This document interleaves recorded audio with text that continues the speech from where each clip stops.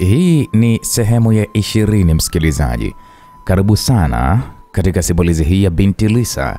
Mimi naitwa Uncle J na katika sehemu ya kumi na tisa tuliweza kuisha pale ambapo Pamela alikuwa amempigia simu Lisa na kuna jambo alikuwa anamweleza, ni kama taarifa mbaya alikuwa anampatia. Je, ni taarifa gani hiyo? Basi nikukaribisha tupate kujua nini ambacho kilichoweza kuendelea. Karibu, hii ni Uncle J Simulizi.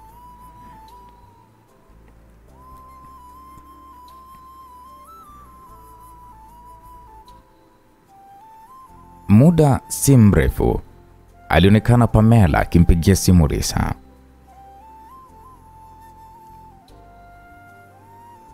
Lisa, kuna kitu kibaya kimetokea. Mama yake na Charity amekufa. Naam, Lisa alipigwa na butwaa kwanza, kakaa kimya. Alijilazimisha kuitikia kwa utulivu kabla ya kuweza kutoka nje ya wodi. Oh, Mungu wangu, Pamela, ni kosa letu, hatukuwa makini. Lisa alinong'ona hivyo kwa masikitiko. Ni kweli Lisa, mjomba Boris alisema kuwa hakuweza kuwasiliana na Auntie Jennifer tangu alipoondoka nyumbani asubuhi ya leo. Tangu alipoondoka asubuhi nyumbani ya leo kwenda kufungasha. Kwa hiyo nilikuja kumtafuta nyumbani kwao. Watumishi wao wote walikuwa wameondoka na ilibidi sasa mimi kupanda juu ya ukuta ili niweze kuingia. Alikuwa amelala kwenye dimbwi la damu kwenye sakafu ya bafuni na alikuwa ameacha kupumua nilipomkuta, na polisi walikuja hapo awali na kusema kwamba lazima itakuwa alianguka na kubamiza kichwa chake chini sakafuni. Wanafikiri ya kwamba alikufa baada ya kupoteza damu nyingi sana. Mm, Pamela, hiyo inawezekanaje? Lisa alisisimka mpaka kwenye uti wa mgongo wake. Mbona alionekana kuwa ni mzima kabisa? Angewezaje tu kuanguka bila sababu? Uliangalia kamera zote za uchunguzi? Kamera zote zimezimwa tangu juzi. Pamela alijibu hivyo. Lakini niliangalia kamera za CCTV za nyumba ya jirani pale. Sara alionekana akiingia asubuhi, alionekana akiingia asubuhi ya leo, lakini aliondoka baada ya nusu saa. Lisa alikuwa anatetemeka kwa hofu na hasira. Hakika anahusika katika hili, anamchukia Jennifer. Hilo hata mimi najua, lakini daktari wa magonjwa alisema kwamba haina uhusiano wowote ule, haina uhusiano wowote ule na mauaji ya, ya, ya, ya kupangwa. Hawakuweza kupata alama za vidole vya mtu mwingine wala hata dalili iliyoonyesha kuwa huyu mtu ameuliwa. Lakini mbali na hilo, Auntie Jennifer inakadiriwa kuwa alifariki majira ya saa tatu asubuhi, lakini Sara alitoka nyumbani pale saa mbili na nusu asubuhi. Baada ya kimya kifupi cha pande zote mbili, Pamela alisema huku midomo yake ikimtetemeka. Lisa, nilisoma hapo awali kwamba baadhi ya wanasaikolojia wanatisha kwa sababu wanaweza kutumia njia ya kumpumbaza mtu ili. Unamaanisha kwamba Sara alimpumbaza kisaikolojia Auntie Jennifer? Hilo linawezekana, Lisa. Ujue angeweza kumpumbaza Aunt Jennifer katika hali ya nusu fahamu ili aanguke kwa bahati mbaya. Sasa kwa njia hii hakutakuwa kuna ushahidi wowote utakaokuwa unaelekeza kwamba Sara ndiye muuaji. Lisa alisugua paji la uso wake. Kifo cha Jennifer kilitilia shaka sana. Charity angejisikia vibaya sana kiasi gani ise endapo tu angejua kuhusu hilo jambo, kwa sababu muda huu Charity yuko gerezani. Na vipi kuhusu Boris pia? Angeachwa peke yake bila mtu kando yake ise.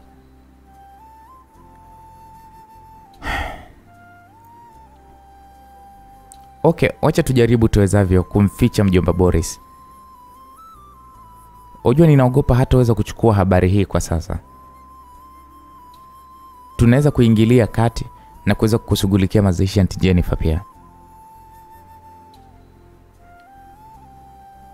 Msikilizaji, majira ya saa mbili za usiku, Lisa aliweza kurudi kwa mzee Kimaro akiwa amechoka kweli kweli. Alipoingia tu mlangoni, akawaona Alvin pamoja na Sara wakiweza kuteremka kwenye ngazi wakiwa wamekaribiana hivi. Mwanaume alikuwa amevalia nguo za mapumziko zenye mistari meusi na myeupe, na nywele zilizokuwa zimestawi kwenye kichwa chake zilifanya macho yake ya ukali yaonekane laini na tulivu. Mwanamke kwa upande mwingine alikuwa amevalia suruari ya jinsi ya kubana na kitopo kilichokuwa kimefichua kiuno chake chembamba na ngozi nyororo. Ilionekana kana kwamba walikuwa wamiliki wa nyumba hiyo. Lisa kwanza alikosa raha kuona jambo hili. Alikuwa ni mrembo sana kuliko Sara, lakini pia ngozi yake haikuwa katika hali yake nzuri tangu kuweza kuharibika. Oh, Bikimaro, umerudi? Tumemaliza matibabu ya leo kwa Alvinic. Mwanadada Sara aliongea kwanza kwa sauti ya upole.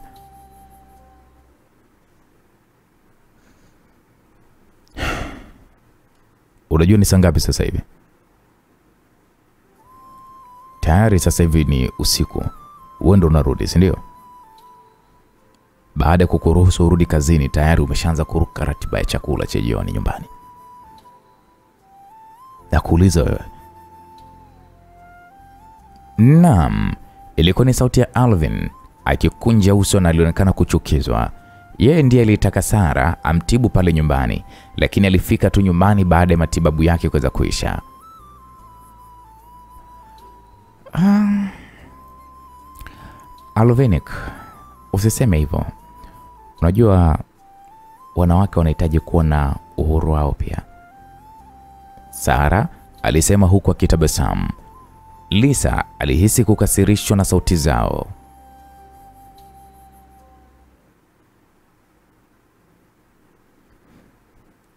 Binjao, umesikia kwamba mamako wa kambo leo amefariki dunia? Ah, nilisikia. Um, a, nilienda kumsalimia tu asubuhi ya leo, na muda mfupi baadaye nikasikia taarifa za kifo chake. Kweli?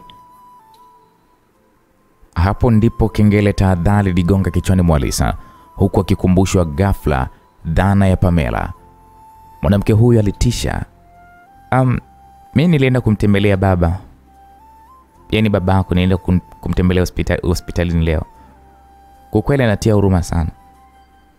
Alikuwa anamtegemea tu mke wake, lakini yeye mke wake amekufa na hakuna mtu wa kuweza kumtunza hata pia alikuwa akihangaika kuchukua beseni la kuweza kujisaidia peke yake. Wewe na kakako mmefanikiwa, ni matajiri sasa, angalau mnapaswa kuweza hata kumwajiri mlezi, hata kama hamumpendi babako. Ya, uko sahihi, mimi sio binti bora. Sara alionekana kujutia hilo. Lisa, hayo ni mambo ya kifamilia hujui mengi kuhusu hilo na hupaswi kuweza kuingiza pua yako ndani yake. Sara alikuwa amejaribu kuweza kuajiri mlezi, lakini baba yake alimkataa, na nilimsikia akizungumza kuhusu hili mapema mchana wa leo. Anapanga kuandaa mazishi ya kifahari kwa mama yake wa kambo. Kwa hiyo unataka kufanya nini zaidi ya hapo? Au labda unataka Sara afanye nini zaidi ya hapo? Msikilizaji, Lisa alijisikia kumpiga Alvin kichwani alipoona jinsi alivyokuwa amechukua upande wa Sara kabisa. Ina maana hakuona ya kwamba Sara alikuwa ni mwanamke mjanja mjanja? Hakuliona hilo Alvin? Um, Alvinic inaonyesha kwamba Lisa ni mkarimu kwa vile anamjali rafiki yake. Mi nadhani niondoke sasa, nahitaji kwenda kuweza kushughulikia mazishi ya kesha, Sara alisema huku akitabasamu kwa uchungu. Lisa alikosa la kusema. Huenda Jennifer asingepumzika kwa amani ikiwa Sara ndiye aliyekuwa akiandaa mazishi yake. Hapana, mimi na Pamela tutashughulikia mazishi ya Auntie Jennifer. Usilete matatizo Lisa. Unaweza kufanya nini na hilo tumbo lako kubwa la ujauzito? Wewe sio binti wa Jennifer, kwa hivyo huwezi hata kuweza kushika maiti yake. Lisa, usijali, nitalishughulikia hili. Sara pia akazungumza kwa kutabasamu. Lisa aliuma mdomo. Angewezaje kutokuwa na wasiwasi? Sara aliweza hata kuwa sababu ya kifo cha Jennifer. Mtu matata kama yeye hakika angemfanya Jennifer ashindwe kupumzika kwa amani. Baada ya Sara kuweza kuondoka, Lisa moja kwa moja alikataa kuweza kukubaliana na Alvin.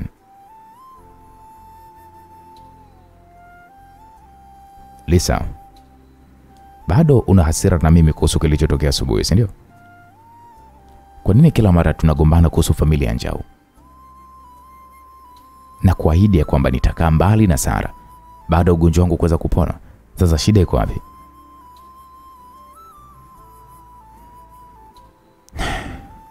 Alvin, unatambua kuwa huwa unamtetea sana Sara anapokuwa karibu. Inafanya nionekane kama mimi ni mtu nisiyekuwa na akili. Lisa, unaweza kuacha kunikera kila unapokutana na Sara? Kwa nini unajali sana mambo ya familia nje? Wewe inakuhusu nini? Mbona mbona sio familia yako ile? Yaani wewe cha nini cha kucha kwenda ku, kutaka kujua mambo ya familia nyingine? Okay. Kwa nini unamjali sana Sara?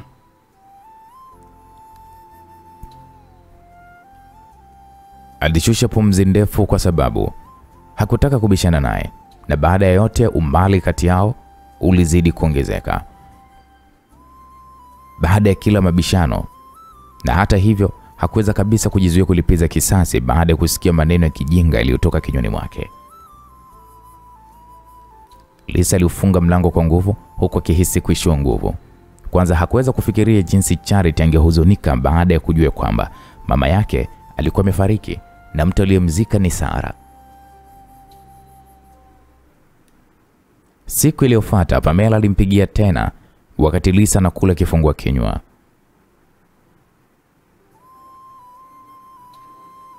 Lisa, mjomba Boris amekufa kwa mshtuko wa moyo asubuhi ya leo.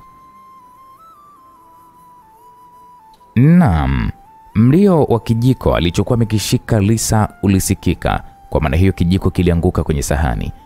Pamela aliendelea kumpa taarifa Lisa. Lisa alibaki mdomo wazi.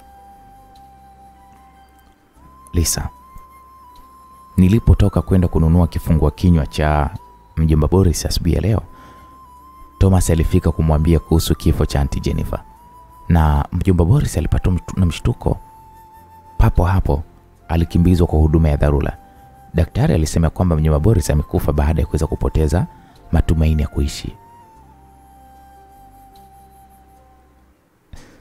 Nakuja mara moja. Lisa alisimama haraka haraka na kuacha kula. Alvin ilibidi amshike mkono na akamwambia unaenda wapi? Hebu keti hapo upate kifungua kinywa. Lisa aliusukuma mkono wa Alvin kwa nguvu na kumfokea kwa macho ya machozi. Akamwambia mjomba Boris amekufa. Thomas alienda hospitalini na kumweleza kuhusu kifo cha Auntie Jennifer. Wenzi hao walipendana kwa mioyo yao yote. Huyo mjinga Thomas ndiye wa kuweza kulaumiwa kwa hii hali. Yote ni kwa sababu yako Alvin. Kwa nini ulimsaidia mtu kama huyo? Hakuna jambo baya lingetokea kama angefungwa muda mrefu uliopita. Uso mzuri wa Alvin uliganda na Lisa aliendelea kumsomea. Una furaha sasa eh? Charity amefungwa maisha, wazazi wake wote wamefariki, hatimaye Sara na Thomas wapo eh? Ndo wapendwa wako pekee waliosalia katika familia Njau wapo. Lisa alimtazama kwa masikitiko Alvin na kunyata bila kuangalia nyuma. Pamela alikuwa akibishana na ndugu wa Njau wodini wakati Lisa alipofika hospitalini baada ya muda mfupi sana. Hey, Pamela, ondoka mbele yangu, sina neno. Kama unataka kuchukua maiti ya baba yetu, sina neno, lakini kama kweli unataka Thomas alitania na kutabasamu kwa hasira. Kubali kwanza kuwa mwanamke wangu, na nitakuhakikishia kwamba unaweza kupungu, kupanga mazishi ya babangu. Una akili kweli wewe, au laana inakusumbua? Baba yako amekufa tu, lakini unacheka huku unawaza mapenzi. Pamela alionekana kukasirika. Asingekufa kama si wewe kumletea habari za kushtukiza. Kwa hiyo umemuua babako. Sasa mimi kosa langu ni vipi? Mbona sikuelewi wewe Pamela? Eh? Mimi sina kosa. Kujua ni lazima ngijua tu, hata kama nisingemwambia. Kama ni kufa angekufa mapema, au hata baadaye angekufa tu. Thomas alijibu bila hata ya kujali. Kwa kweli mimi sioni hata maana ya kuwa na huzuni juu ya huyu mzee. Alistahili kufa, umri wake umeshaenda. Mm? Thomas, we ni shetani kabisa. Pamela alishangaa. Ni sawa kweli kumwambia maneno hayo mtu aliyekuleta katika hii dunia na akakulea? Ni kosa lake kwa kututelekeza na akawa karibu na Jennifer na binti yake. Kwanza nimefanya upendeleo sana, hata kuja kuchukua mwili wake leo nimefanya upendeleo sana. Wewe utakuja kupigwa na radi. Kwa hasira, Pamela alimpiga ngumi ya kifua. Unathubutu vipi kunipiga ngumi, mwanamke mjinga wewe? Nitakuchuna ukioko hai, kenge mmoja wewe.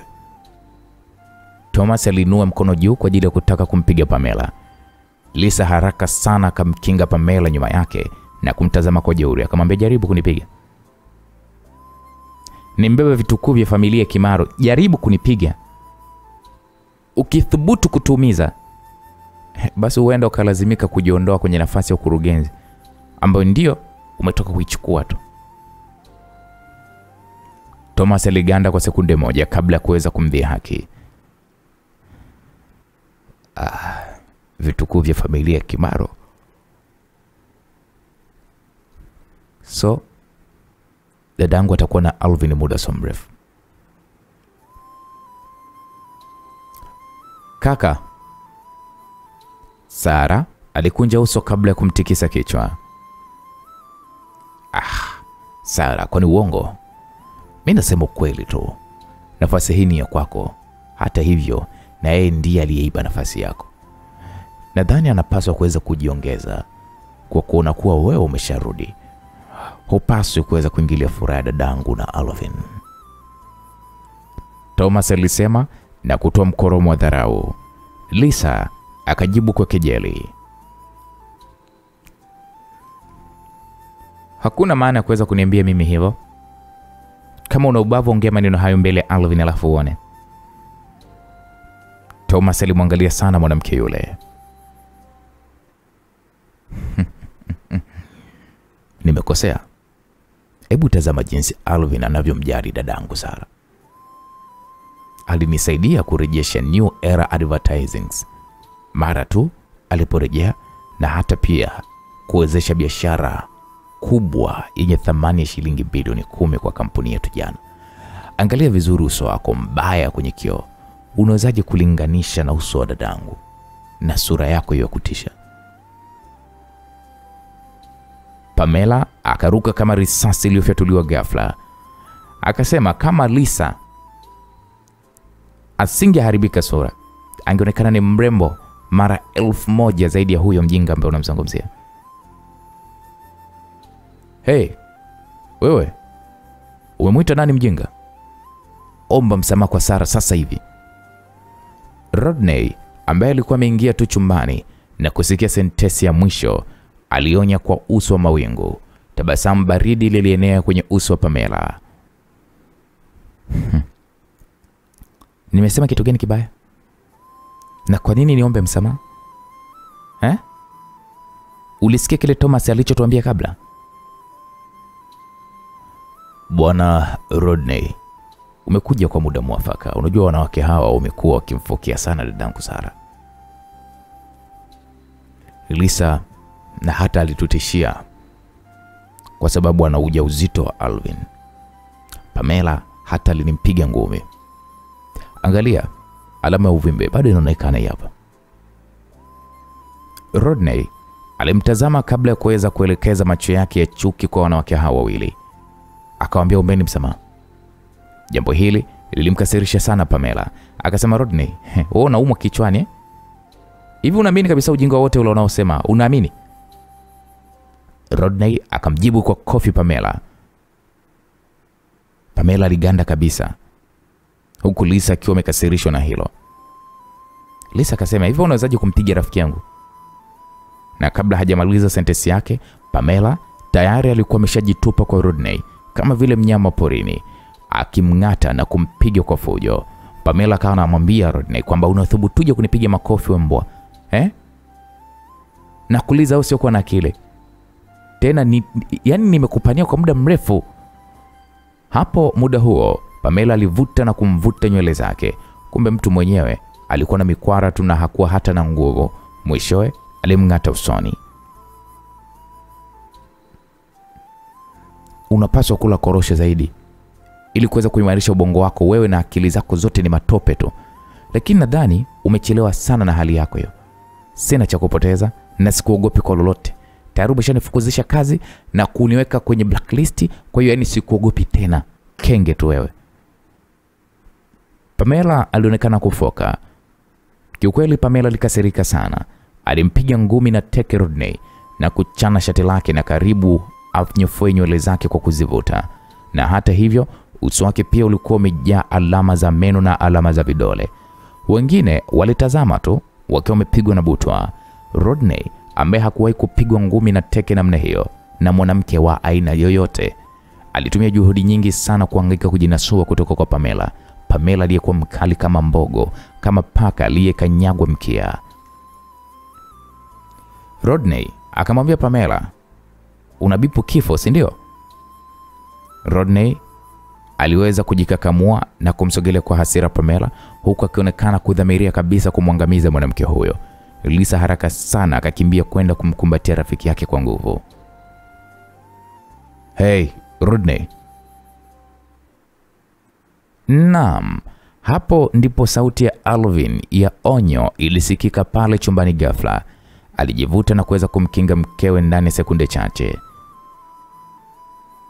Alvin alikuwa amekimbilia eneo la tukio baada ya kujua kwamba Rodney alikuwa ameenda hospitalini pia. Lisa na Rodney hawakuwa wakipatana vizuri tangu siku ya Maureen itokee, hivyo Alvin alihisi wangeonana macho kwa macho na ingeleta shida kubwa na pengine wangegombana kabisa. Hakuwa amekosea na ndicho kilichokuwa kimetokea. Alvin, hivi bado unawasaidia? Angalia hali jinsi wali, a, a, a, angalia hali nilionayo. Yote ni kwa sababu ya Pamela Masanja. Rodney alipiga kelele. Ni wewe uliompiga Pamela? Lisa alimtazama kwa hasira Rodney, kwa sababu alimuita Sara mjinga. Na isitoshe nyinyi wawili mmekuwa mkimdharau sana Sara pamoja na kaka yake tangu mwanzo. Sasa na hapa nitawafundisheni somo leo, hata iweje. Rodney alikasirika kadiri alivyozidi kuwaza. Pamela pia hakurudi nyuma, akasema Nilifanya hivyo kwa sababu Thomas alisema Lisa na sura mbaya. Ulisema mke wangu ndo sura mbaya? Alvin alimtupia macho ya kutisha sana bwana Thomas. Thomas alitetemeka kabla ya kusema kwa sauti ya kigugumizi, ah, mimi, mimi, mimi, mimi sikusema. Pamela akakoroma kwa kusema, wewe wewe, sio tu kwamba alisema kwamba Lisa ana sura mbaya, alisema pia ajipange kuachana na wewe kwa sababu dada yake mdogo amerudi, na hata alijisifu ya kwamba hivi karibuni Sara atakuwa na ujauzito wa watoto wako pia. We Pamela Masanje, hebu acha uongo bwana. Thomas alipiga kelele. Sara dadangu, huwezi kuzungumzia kitu kama hiko kama una ushahidi. Mi sikusema lolote kati ya hayo, na kinyume chake hawa wawili walikuita wewe ni mjinga. Ni kweli kabisa, hata mi nilisikia. Rodney akasema pia kukazia. Sara, nataka kusikia kutoka kwako. Alvin akahamishia macho yake yaende kwa Sara. Sara kwanza alitabasamu kinyonge.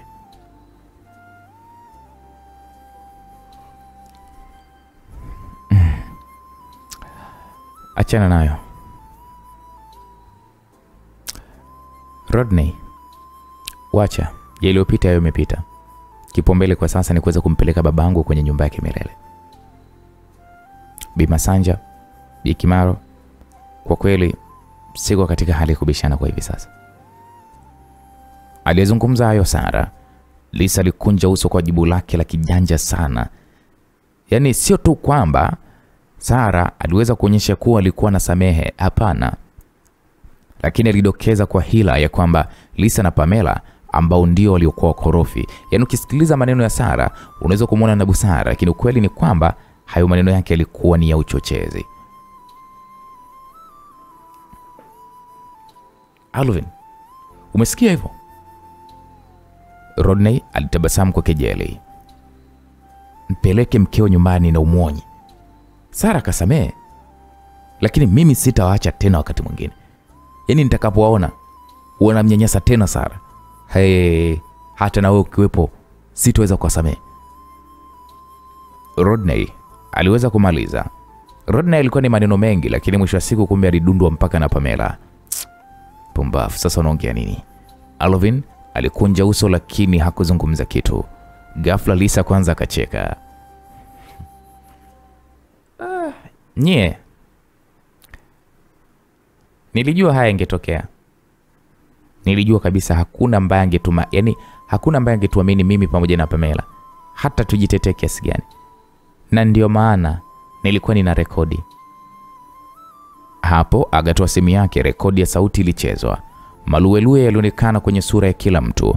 Thomas aliogopa na kufadhaika, huku uso wa Sara ukiwa umepauka kama mzimu. Unacheza na Lisa wewe? Lisa na akili za juu. Uso wa Rodney pia ulikunjamana. Kwa kweli hawakutarajia Thomas angesema maneno yale ya kutisha. Thomas hakupaswa kabisa kushikilia kinyongo hicho, hata kama alimdharau baba yake. Mtu huyo alikuwa amekufa sasa. Baada ya yote, uso mzuri wa Alvin taratibu ukaanza kuja mawingu. Alimtazama Sara bila kujali. Hakuwa na wasiwasi kuhusu Thomas kwa sababu mtu huyo alikuwa na sifa mbaya, lakini bila shaka hakutarajia Sara angesema uongo ili kuficha habari za kaka yake. Alikuwa karibu kuto kuelewa hali hiyo. Um, Alvinik, naweza kuomba msamaha kwa niaba ya kakangu. Sara alifadhaika, lakini akapata utulivu haraka sana, akawa analazimisha tabasamu.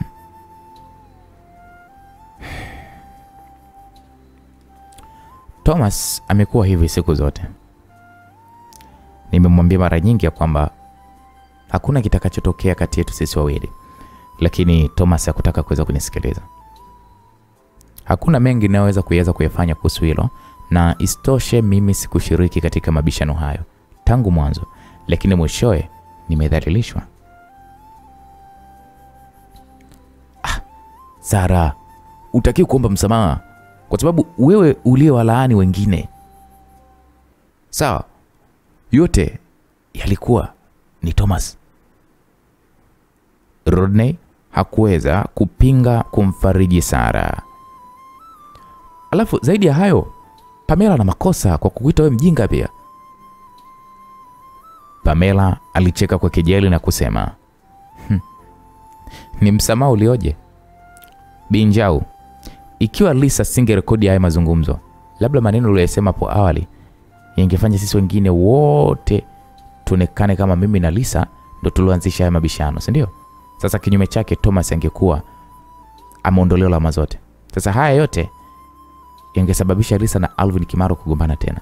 Hamjoni nyinyi kuwa ni wanafiki?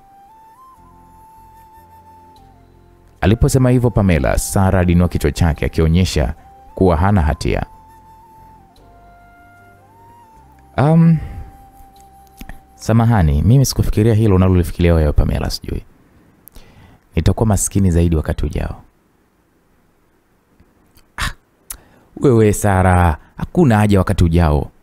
Pamela Masanja, utaacha lini kumwandama Sara wewe? Rodney hakuweza kuvumilia kumwona Sara akisikitika, na ndipo hapo Alvin akasema imetosha. Alvin alionya kabla kuweza kumwangalia Thomas. Inaonekana umekuwa ukinizoea kupita kiasi kwa sababu nilikusaidia, si ndio?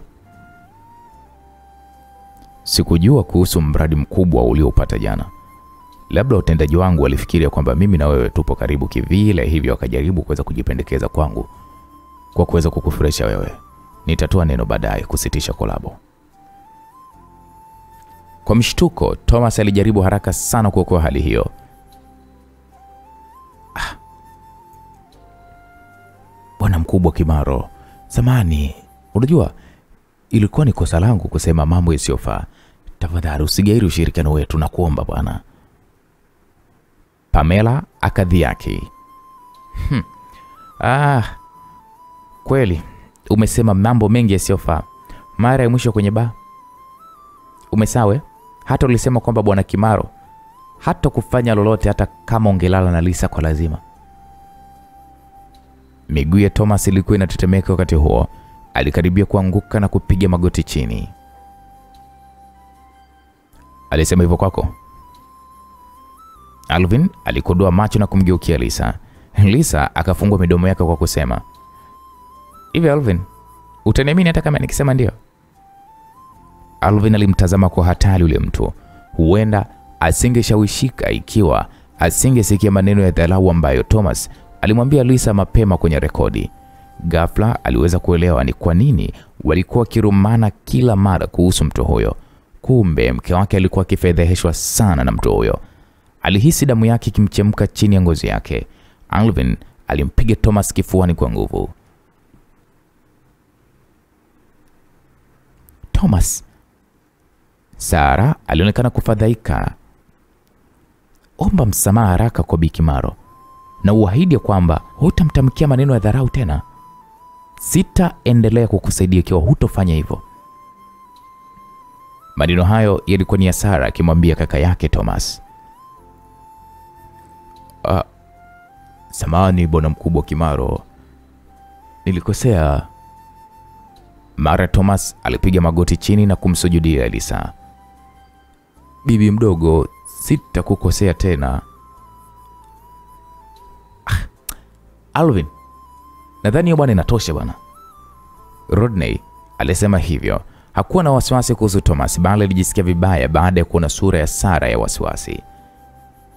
Rodney anamjali sana Sara.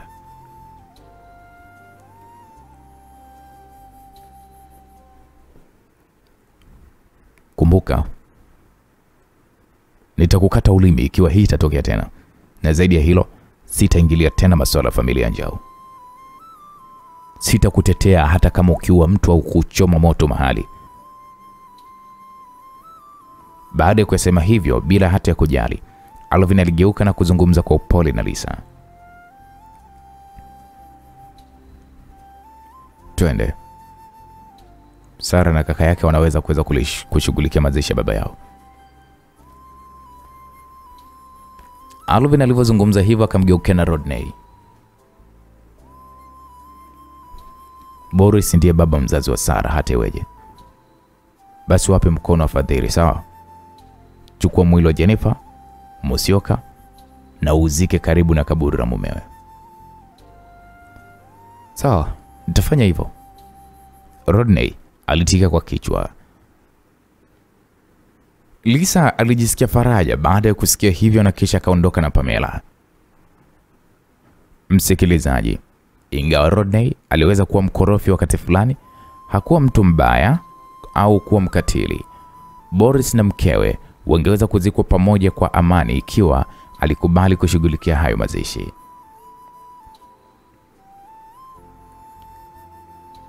Giza lilitanda kwenye macho ya Sara.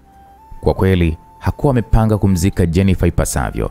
Ilikuwa ni nje na matarajio yake ya kwamba Alvin angeweza kumwagiza Rodney kwa makusudi kuweza kushughulikia swala hili. Je, alikuwa amepoteza imani naye?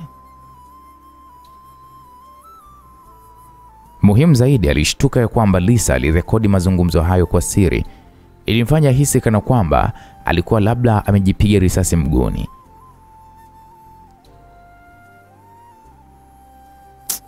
Lisa ni mjinga sana. Sara alimchukia Lisa kama alivyomchukia Charity.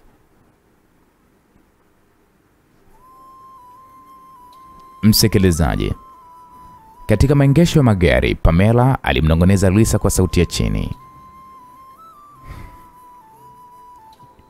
Beste, nimegundua kwamba Rodney anahisia na Sara. Huyo mwanaume asiyekuwa na akili anatumiwa na huyo mwanamke mjanja mjanja bila yeye mwenye kujijua. Ni upuzi hivi. Unafikiri atakuwa amewahi kumbusu Sara? Mawazo yake unajua, yananifanya niwe mgonjwa. Jamani, niliwahi kumbusu Rodney kwa nguvu. Je, hiyo inamaanisha kwamba mimi pia nimembusu Sara? Lisa alishangaa. He, we Pamela, kwani ulimbusu kwa nguvu Rodney?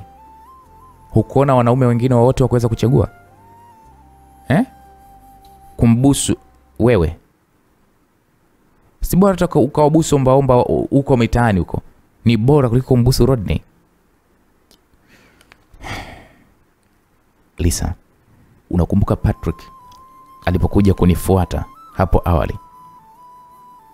Rodney alikuwa karibu, na kwa bahati hiyo nilimbusu ili kuweza kulipiza kisasi kwa Patrick. Yaani ninajuta sana sana sana mpaka nahisi kama kutapika. Sura ya kuchanganyikiwa ilienea kwenye uso wa Lisa. Usithubutu kusema maneno hayo mbele yangu. Mpenzi wa zamani wa Sara ni mume wangu.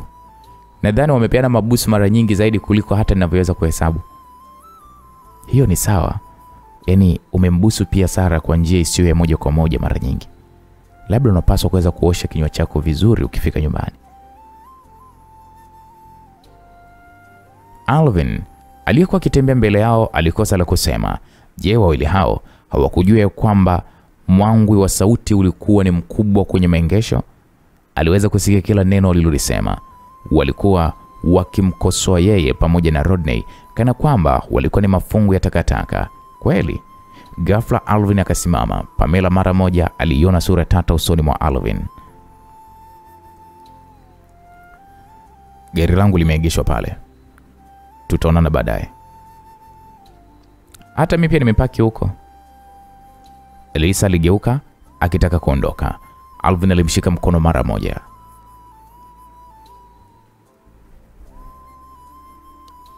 Nisikilize, Shani ataendesha gari lako kurudi nyumbani na wewe utapanda kwenye gari langu. Sitaki kupanda gari lako Lisa. Samani, lakini nimemwadhibu Thomas na wewe pia umeona. Alinamisha kichwa chake chini akionekana kuomba msamaha. Mazishi ya Boris na Jennifer yatashughulikiwa na Rodney, hakuna tatizo. Kwa hiyo alinua kichwa chake kuweza kudhihirisha kukata tamaa katika macho yake. Usingeniamini kama sikuwa na rekodi, si ndio? Ninyi nyote bado mngefikiria kwamba mimi na Pamela tulionyanyasa Sara na kakake. Mimi sikutarajia. Kuna mambo mengine mengi tu ambayo hukutarajia vile vile. Msamaha wako una faida gani? Watu hawatorudi wakiwa hai. Hata hivyo, tafadhali kumbuka, mtu unayemsaidia ni takataka aina gani. Uko sahihi kabisa kwamba Thomas ni takataka. Kwa hiyo unataka kuendelea kubishana kuhusu takataka hiyo, si ndio? Kwa nini sikupeleke shopping baada ya kazi ya leo? Siko katika mudi ya kufanya shopping. Yaani heri niwe kwenye mudi ya kusikiliza simulizi zangu je. Na zaidi ya hilo, ninatumai kwamba utaacha kuegemea upande wa Sara kila wakati. Sijali jinsi unavyofikiri alikuwa ni mkarimu sijui na asiyekuwa na hatia hapo awali, lakini alikuwa amepotea kwa miaka michache. Hivi unajua nini kimempata kwa kipindi chote hiko eh? Bado unamchukulia kwamba ni mtu yule yule wa zamani? Wewe ni kama Sara wa sasa hivi amechachuka. Lisa alinyakua mkono wake kutoka kwa Alvin na kunyata bila kuangalia nyuma. Alvin aliweza kuinua kichwa chake kwa upole huku uso wake ukiwa umekunjamana. Kusema ukweli, alikatishwa sana tamaa na Sara siku hiyo, ni kana kwamba alikuwa ni mtu wa utofauti. Kwa kweli, angemwelewa vibaya Lisa ikiwa si kwa ile rekodi aliyokuwa ameisikia. Au Sara huyu Sara feki? Maana hmm, usikute Sara huyu feki bwana. Sasa wakati huo alijaribu kuweza kuchambua tabia yake kwa kichwa cha tafakuri. Ilionekana kana kwamba siku zote alikuwa akiegemea upande wa Sara. Kila kulipokuwa kuna mgogoro kati yake na Lisa, alijikuta yuko upande wa Sara. Sasa kwa nini? Lisa ilikuwa mke wake, alipaswa kumwamini mke wake zaidi kuliko mtu yoyote. Kwa hiyo ilionekana kana kwamba alitakiwa kujiweka mbali na Sara. Asubuhi iliyofuata, baada ya kifungua kinywa, Lisa alitoka kwenye kabati la nguo la kutembea akiwa amevaa nguo ndefu nyeusi. Alvin ambaye pia alikuwa amevalia suti nyeusi alikuwa akingoja mlangoni kwa muda. Unahudhuria mazishi ya Boris Njau? Ngoja basi nikupe lift. Lisa akamtupia jicho kali sana Alvin. Alihisi huzuni lakini akatabasamu hata hivyo. Siendi huko kwa ajili ya Sara, nataka tu kuhakikisha kwamba hakuna mtu akuweza kuweza kukuonea tena. Hatimaye umesema jambo la heshima. Lisa alitania hivyo. Alvin hakuwa na la kusema. Ni lini hakuwa na heshima katika maneno yake? Alvin akapotezea. Hakuwa na tatizo kwa kudhiakiwa na Lisa ikiwa alimfanya mke wake ajisikie vizuri. Twende, nadhani unapaswa kuweza kuomba msamaha kwa mjomba Boris. Lisa alisema kwa upole. Hakutaka kubishana naye na wala hakumlaumu kwa kushindwa kuuona ukweli. Baada ya yote, Sara hakuwa rafiki yake wa utotoni tu, bali pia ni mpenzi wake wa zamani. Kwa upande mwingine, yeye na Alvin walikuwa wamefahamiana kwa muda usiozidi mwaka mmoja, na isitoshe, Sara alikuwa ni mwanamke mjanja mjanja. Hakuwa na la kufanya ili kuweza kudhihirisha taratibu rangi halisi za mwanamke huyo mjanja mjanja. Mimi nikaombe msamaha? Thomas asingekuwa gerezani muda mrefu uliopita kama sio wewe, hivyo asingepata nafasi ya kumfanya mjomba Boris afe. Do, naam, hakika Alvin ilibidi akaombe msamaha.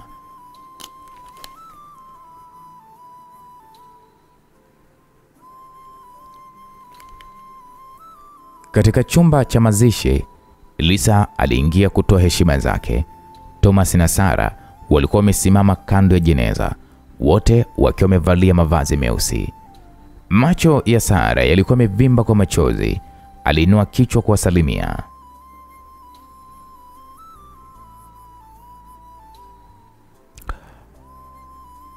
Alvinik, madam, asanteni kwa kuja.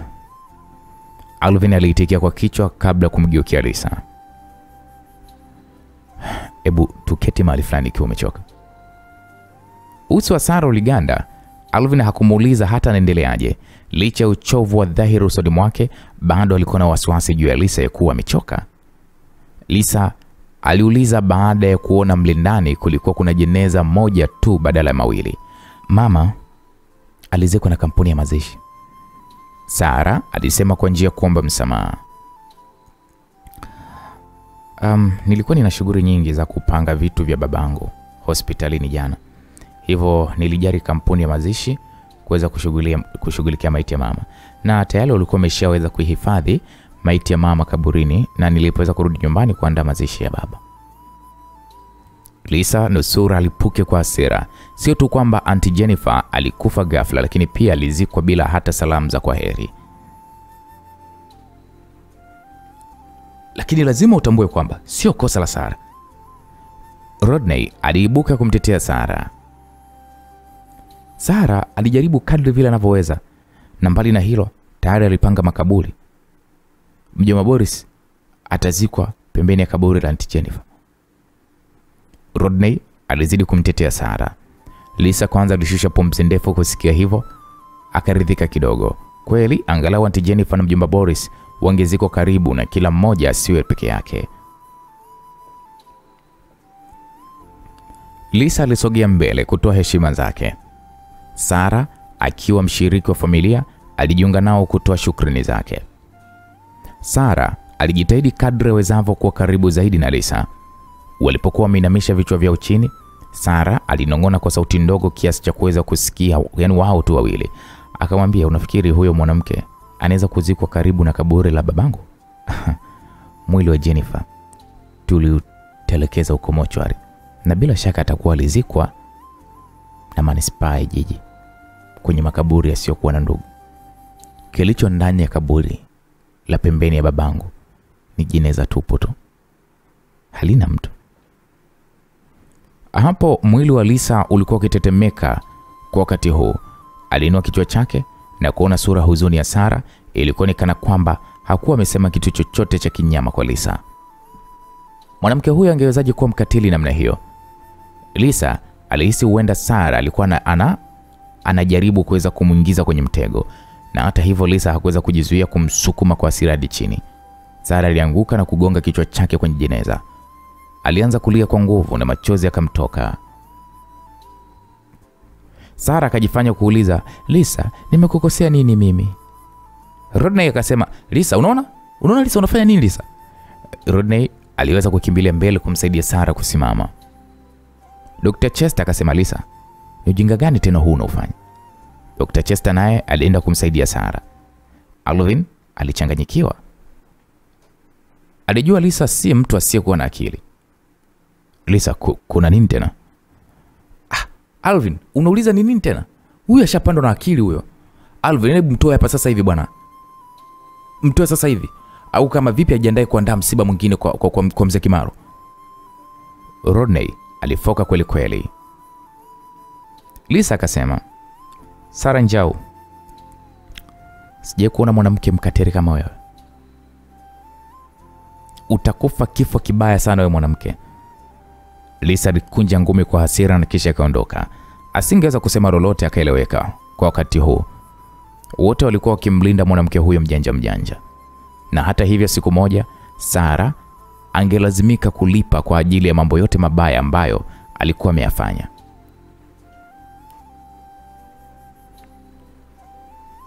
Yaani mwanamke kichaa kweli huyo. Alvin, wewe unawezaje kuishi na mwanamke kama huyo? Yaani usije ukamleta tena karibu yangu siku nyingine. Sitaki hata kumuona huyu mwanamke. Rodney alichukizwa sana na Lisa wakati huo. Rodney, usiseme hivyo. Hakufanya hivyo kwa makusudi, Sara alisema huku akimshika mkono mwanaume huyo. Kulingana na uzoefu wangu wa kitaaluma masuala ya kisaikolojia, labda ujauzito wake utakuwa unampelekesha. Ujauzito? Alvin alishikwa na butwa.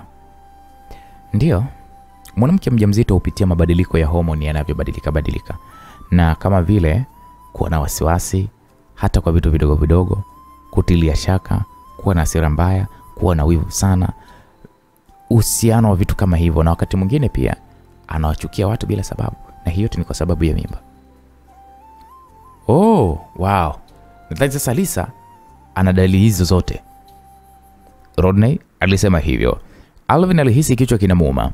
Alikuwa bado hajapona ugonjwa wake yeye mwenyewe. Ingekuwa ni mbaya sana ikiwa Lisa naye angepata shida kama yake. nitamfata Wakati Alvin anakimbilia mlangoni, Lisa alikuwa ameshaingia ndani ya gari. Saa moja baadaye, Lisa alitembea taratibu mbele ya lango la gereza. Dakika kadhaa baadaye, Charity ambaye alikuwa amevalia sare ya rangi ya machungwa alitokea, huku miguu yake ikiwa imefungwa pingu. Nywele zake zilikuwa zimekatwa. Alionekana amekonda na kuchoka sana.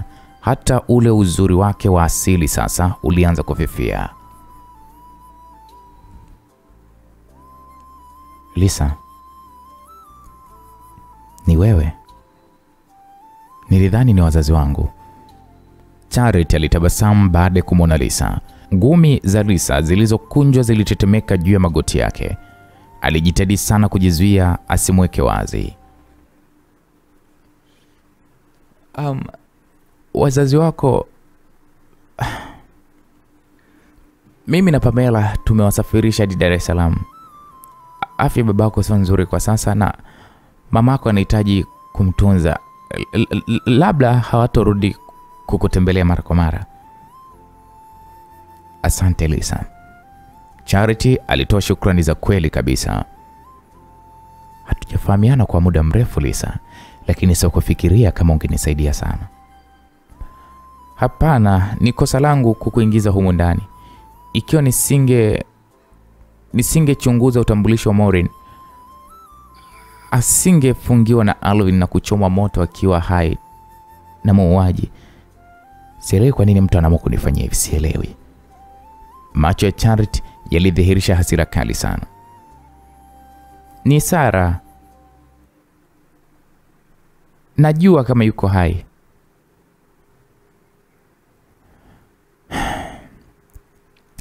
Nilifikiria kuhusu hilo pia Lisa, lakini hakujitapa kuhusu hilo mara ya mwisho alipokuja, kwa hivyo sifikirii kama ni yeye. Charity akatingisha kichwa huku sura ngumu ikitawala usoni mwake. Sara mara nyingi akifanya jambo lolote huwa anajitapa, na alisema kwamba alitaka kumchukua Alvin wake na kuweza kurudisha wadhifa wa Bikimaro. Unapaswa kuwa mwangalifu dhidi yake, hiyo ndio tageti yake. Lakini ukiniambia Sara alimuua Morin, na kataa.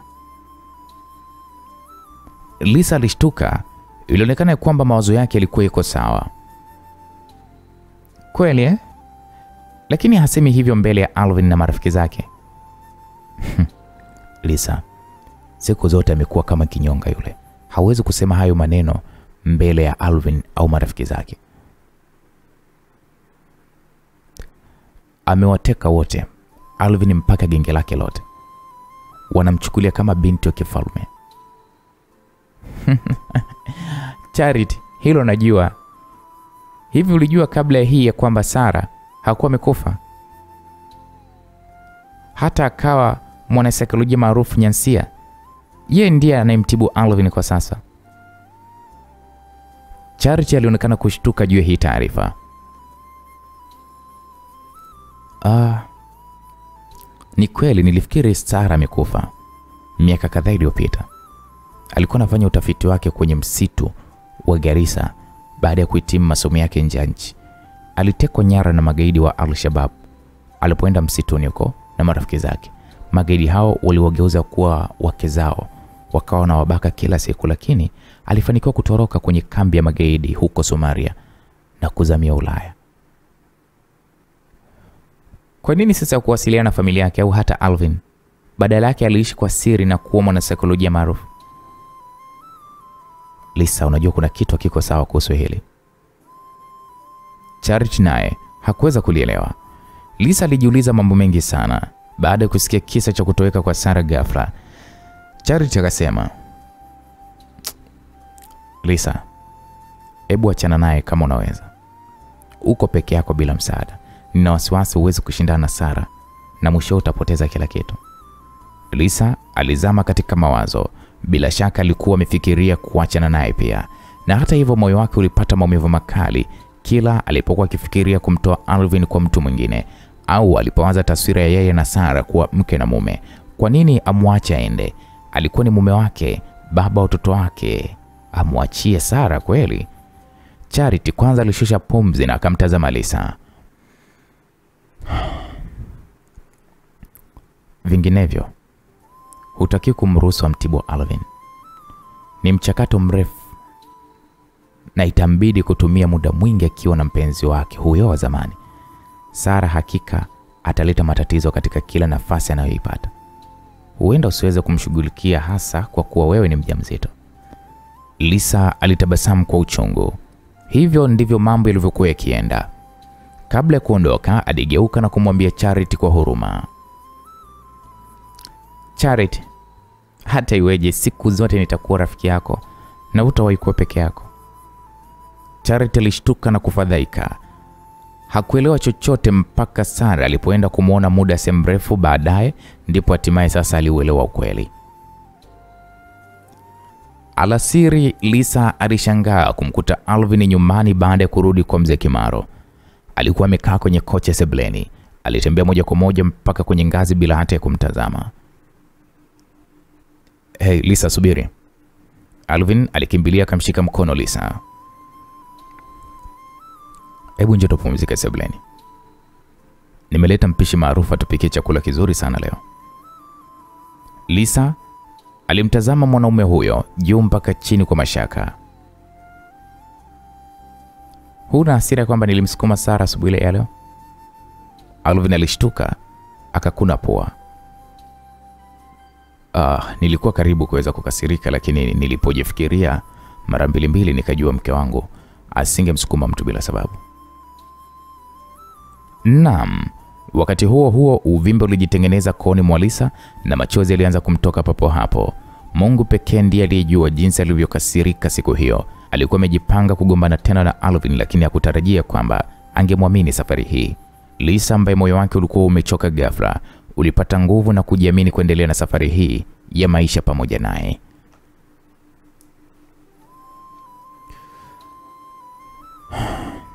Vipi sasa, mbona unalia?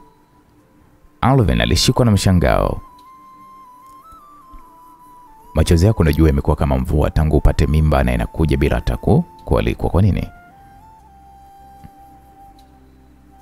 Alvin, Lisa. Ndiyo, niko hapa.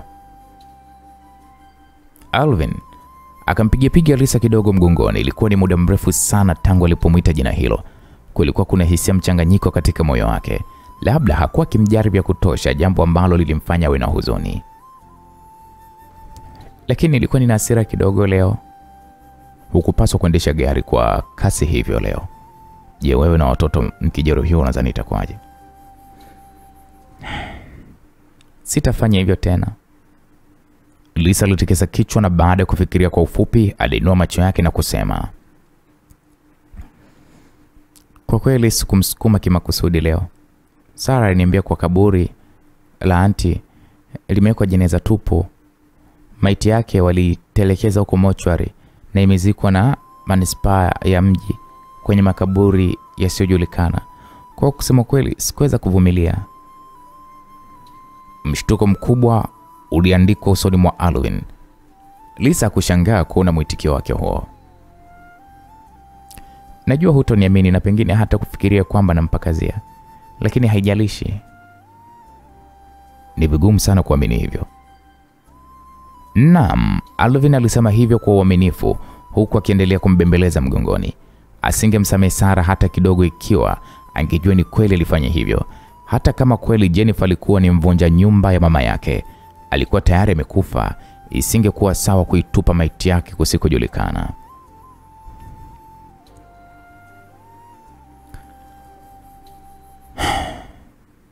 Um, hata mimi pia sitaki kuamini hivyo pia. Natumai alikuwa anadanganya tu. Okay, sawa, acha kwanza kuwaza kupita kiasi. Nitamwambia Aunti Yasmini alete chakula. Alvin alimbeba Lisa mpaka bustanini. Jua lilikuwa linawaka na kulikuwa kuna joto kiasi ndani ya bustani. Lisa aliegemeza kichwa chake kifuani mwa Alvin huku akimlisha hiko chakula. Alichangamka baada ya hapo na kwa namna fulani akala huku akiwa amejiegemeza kwenye mikono yake. Baada ya kumbeba na kuweza kumrudisha chumbani, alitoka chumbani na kumwita Hans.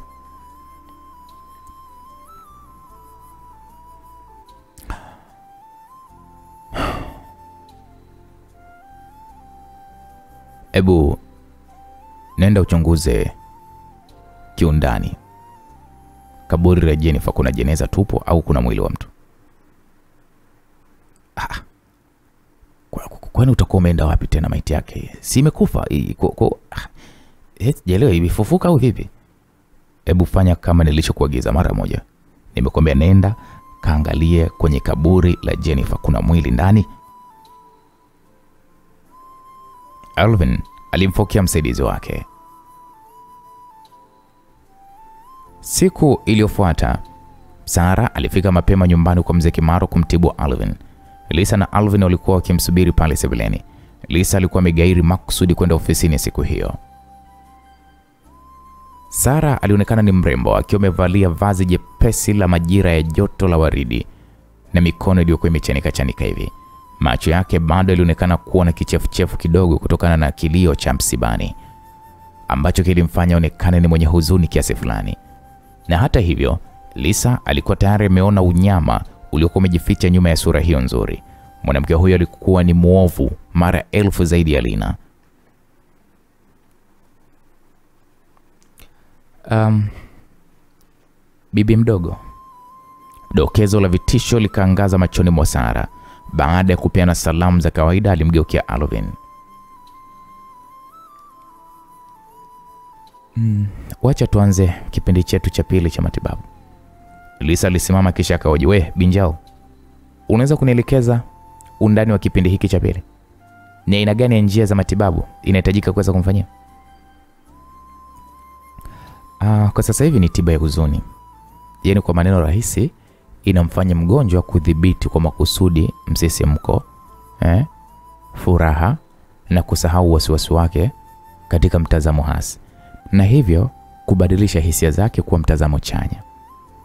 Lisa alikunja uso kwa sauti hiyo. Ah, okay, inaonekana kuwa rahisi sana kumbe. Tabasamu likatanda usoni mwa Sara. Ya, uko sahihi, lakini Alvin amekuwa ni mgonjwa kwa miaka ishirini na hali yake haiwezi kuponywa ikiwa tutakwepa hatari. Isitoshe, kusema ukweli, akikataa matibabu, hali yake inaweza kuwa mbaya na kuwa sawa na mgonjwa uh, mgonjwa wa Alzheimer katika muda wa chini ya mwaka mmoja. Uso wa Alvin ulianguka. Kwa nini kusema haya kabla? Um, sikutaka kukuangaisha au kukufanya uhisi kule, ku, yani kuelemewa kupitia vipindi vya matibabu. Sina jinsi zaidi ya kuweza kukuambia kwa sasa, maana nahisi kama vile huniamini sana. Lazima nikueleze kwa uaminifu uzito wa hali hiyo. Twende gorofani kwa matibabu, Alvin alisema kabla ya kuelekea kwenye ngazi. Lisa aliuma midomo yake alipoona watu wale wakitoweka juu ya ngazi. Sara bila shaka alikuwa ni mwanamke mjanja mjanja. Kwa maneno machache tu alimfanya Lisa kuonekana hajali hali ya Alvin kwa sababu tu ya wivu wake. Lisa alisubiri sebuleni muda wote tangu kipindi cha matibabu kianze. Dakika 40 hivi baadaye, sauti ya vitu vikikunjwa na sauti ya mwanamke akipiga kelele ghafla iliweza kusikika kutoka juu. Alikimbilia kwenye chanzo cha mzozo huo mara moja na kukuta chumba kilikuwa kimefungwa kwa ndani. Shangazi Yasmini, leta funguo haraka, Lisa aliamuru. Mlinzi wa nyumba alipanda ngazi kwa wasiwasi akiwa funguo ya ziada. Wakati anakaribia kufungua mlango, ndipo mara umlango ulifunguka wenyewe kutoka ndani. Alvin ambaye alikuwa amevalia suruali ndefu alionekana kufadhaika huku akitoka nje ya chumba kile kwa kasi akiwa amembeba Sara mikononi mwake. Kichwa cha mwanamke huyo kwanza kilikuwa kinavuja damu na kilikuwa kinavuja damu na kulikuwa kuna kamba iliyokuwa imezungushwa shingoni mwake. Lisa ilibidi aulize nini kimetokea.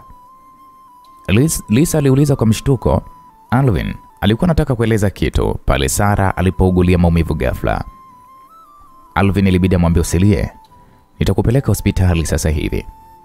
Alvin alimfariji hivyo Sara kwa upole na bila hata kumwangalia Lisa, alitoka nje ya nyumba haraka sana, huku Sara akiwa bado amemkumbatia. Jumba kubwa la kifahari liligeuka ghafla kuwa kimya. Lisa kwanza alihisi kutetemeka mpaka kwenye uti wa mgongo wake. Alitazama ndani ya chumba kilichokuwa kimevurugika. Meza pamoja na viti vilikuwa vimesambaratika huku na kule. Alikuwa amemwona Alvin hapo awali alipokuwa amerudiwa na ugonjwa wake. Huenda mbinu za matibabu ya Sara zilimfanya rudiwe na hali yake tena, na baada ya kupata fahamu zake alijikuta labda amemdhuru Sara. Lisa alikuwa ametahadharisha hapo awali ya kuwa mbinu hizo za kusisimua ugonjwa wake ni hatari, lakini Sara alisisitiza kuzitumia. Lisa, shangazi Yasmini alimtazama kwa wasiwasi. Mimi sijambo wewe fuatilia kujua kwamba anapelekwa hospitali gani. Nitakwenda kumtembelea. Lisa alisema hivyo. Dakika ishirini baadaye aliambiwa kwamba walikuwa katika hospitali ya Chester. Shani alimkimbiza huko mara moja. Lisa alisikia sauti nyororo ya Alvin ikimbembeleza Sara mara baada ya kuweza kuukaribia mlango. Hmm? Unajisikiaje sasa?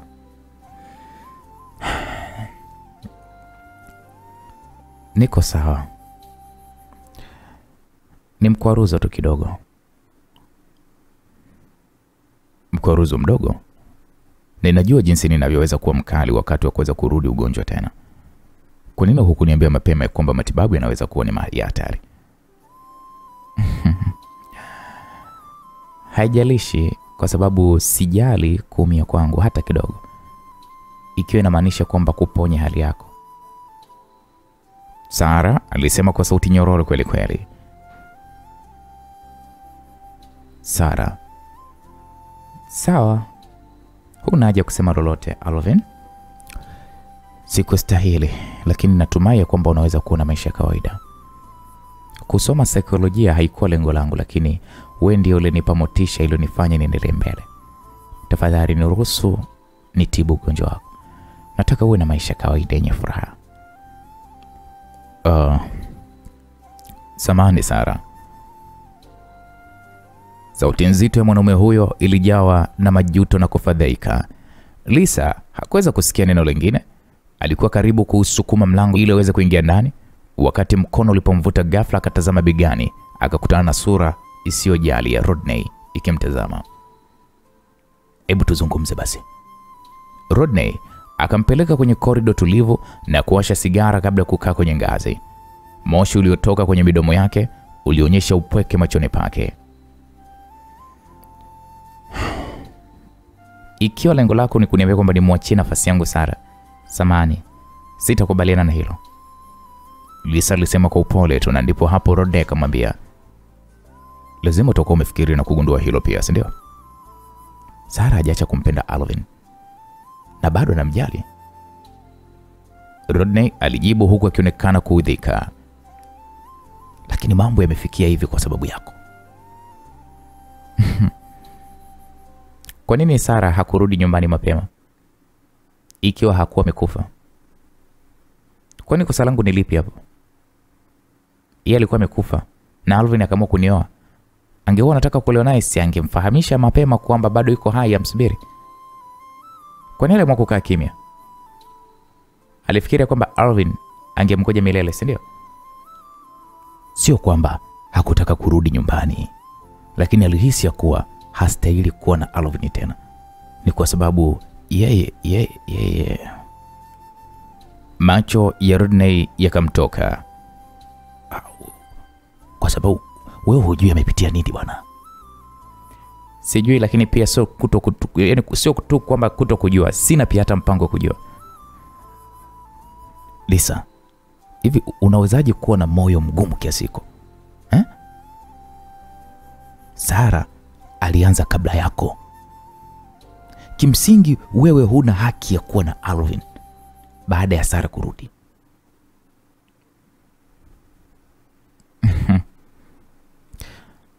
Najua unampenda sana Sara, lakini tafadhali usitumie hilo kuwaumiza wengine. Unataka nimwonee huruma kweli? Lakini vipi kuhusu ndoa yangu na watoto wangu? Nani atakaweza kunihurumia? Hivi wewe unajua walivyokutana Sara na Alvin hmm?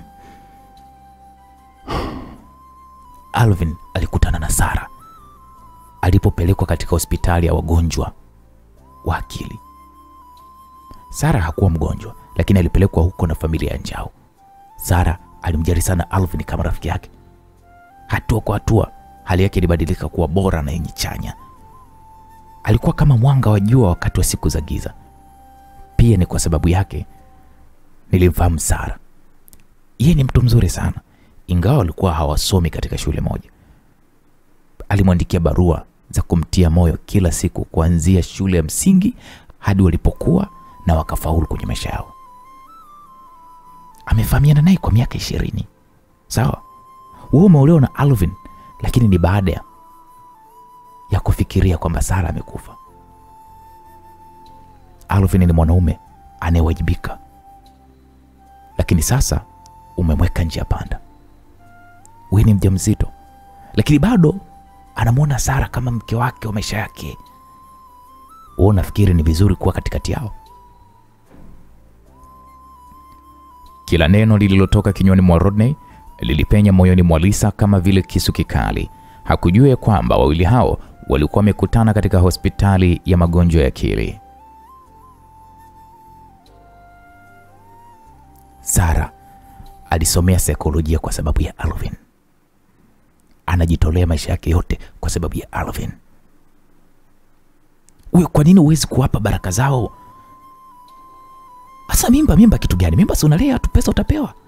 Shida iko wapi? Ah, ah. ni nani atakayenipa mimi yani, yani, ngoja kwanza ni nani mimi nikishatoa baraka he, mimi ni nani atakayenipa atanipa mimi na watoto wangu baraka endapo mimi nikishatoa baraka ziende kwao aligeuka Lisa na kuusukuma mlango mzito ambao Rodney huwezi kunifanya nionekane sina haki kwa sababu tu unampenda Sara. Kwa nini hmm? Wewe ndio unajitia una, mbele mbele sana kumpigania Sara, si ndio? Sijamwona Chester akifanya hivyo, na hata Alvin mwenyewe hapambani kama wewe. Uona nini hasa na Sara? Naam, badala ya kurudi kwenye wodi wa hospitali, aliamua kuondoka kabisa hospitalini hapo. Alitembea kando ya barabara kwa muda mrefu bila mpango wowote. Alvin aliweza kumpigia akiwa ametembea hadi miguu imeanza kuuma. Shani alisema kwamba ulikuja hospitalini. Uko wapi? Mbona sikuoni? Niliondoka. Utarudi lini nyumbani?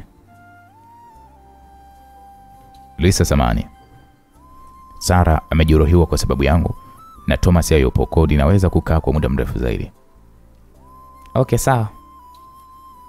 Lisa alikata simu na kuelekea nyumbani kwa Pamela.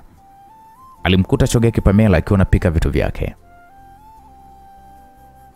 Hivyo Pamela, unaondoka lini wewe? Ah, mwezi ujao naenda Marekani, lakini bado sijapata visa, kwa ninapanga kuweza kurudisha vitu hivi vyote Dar es Salaam. Pamela aliutazama uso wa rafiki yake uliopauka kwa wasiwasi, akamuuliza wewe, kuna nini? Ah, hakuna kitu, nimechoka tu. Lisa aliweza kumkumbatia rafiki yake huku machozi yakimtiririka bila kujizuia. Ah, hatimaye unaondoka. Ninaogopa siwezi kuvumilia kwa muda mrefu zaidi. Inaonekana kama kila mtu katika jiji hili ananiona mikaa adui. Ikiwa nitakaa itakuwaje? Hapana, sahau, huwezi kunisaidia hata kama ukikaa. Lisa alifuta machozi yake kwa nyuma ya mikono yake. Ni kwamba mengi yametokea hivi karibuni. Sara ameanza kufanya harakati zake. Alwin anasema kwamba hatarudiana naye, lakini najua bado anamjali. I know.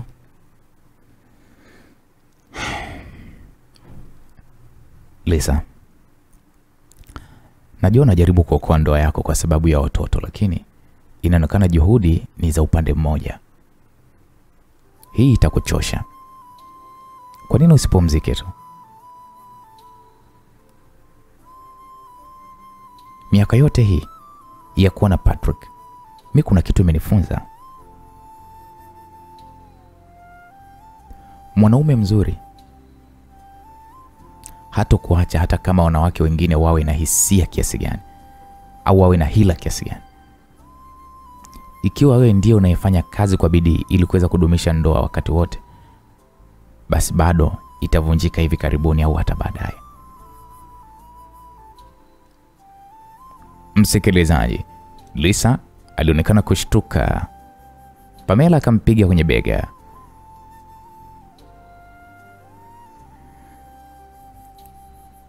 Kuna wanawake wengi sana katika huu ulimwengu ambao wako tayari kuwa waharibifu wa ndoa za watu. Bila kusahau, Alvin ndiye mwanaume tajiri zaidi nchini Kenya. Wanawake wengi wangependa kuweza kujirusha juu yake, na ni juu yake kujua wakati wa kujiweka mbali nao. Acha tu mambo yatokee kwa kawaida. Baada ya yote, haifai kuweza kumthamini mtu ambaye anaweza kuondoka kwa urahisi kutoka kwako. mm -hmm. Hapo umenena kiutu uzima. Ni sawa, acha ni kuendelea chakula cha jioni leo. Sawa Pamela, haina shida. Naam, Lisa aliweza kurudi kwa mzee Kimaro baada ya chakula cha jioni, lakini Alvin bado alikuwa hajarudi. Chumba alikihisi ni kitupu, haswa akiwa peke yake. Usiku wa siku hiyo, kumbukumbu za Alvin kuondoka kwenye nyumba hiyo, huku Sara akiwa amekumbatiana, ziliendelea kumjaa akilini.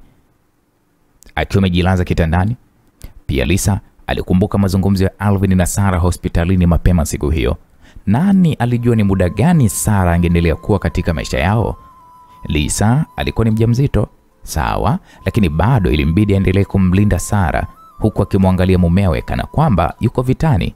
Ilikuwa inachosha sana. Labda kama Pamela alivyosema, haikufaa kumthamini mtu ambaye angeweza kuondoka kwa urahisi. Iliwezekana kweli kuwa hivyo. Aliamua tu kutokujali tena. Mikono yake ilienda kwenye tumbo lake. Kuanzia siku hiyo aliamua kutumia muda mwingi sana kuwapenda watoto wake ili kuweza kuhakikisha wangeingia katika ulimwengu huu wakiwa na afya njema. Upande wa pili wa kitanda ulikuwa bado ni mtupu. Alipoamka asubuhi iliyofuata, shangazi Yasmini alikuwa tayari ameshatayarisha kifungua kinywa, na aliposhuka ngazi baada ya kunawa, Alvin alikuwa akimngoja kando ya meza ya chakula, huku akionekana kuwa na huruma. Samahani, unajua jana usiku nilichelewa sana kuweza kurudi nyumbani. Ni sawa. Lisa alijibu hivyo, kisha akachukua bakuli la mtori na kuanza kunywa. Mwitikio wake usiokuwa na wasiwasi, unajua, ulimshangaza sana Alvin. Nilitaka kufika nyumbani mapema ili kukaa nawe jana usiku, lakini jeraha la Sara, unajua ghafla. Ah, eh, hebu acha kuzungumzia mambo ya Sara hapa, sawa? Fanya chochote unachotaka. Lisa alimkatiza Alvin kwa sababu hakutaka hisia zake ziharibike kwa kusikia jina hilo. Alvin alikunja uso akidhania kwamba Lisa alikuwa na wivu tena.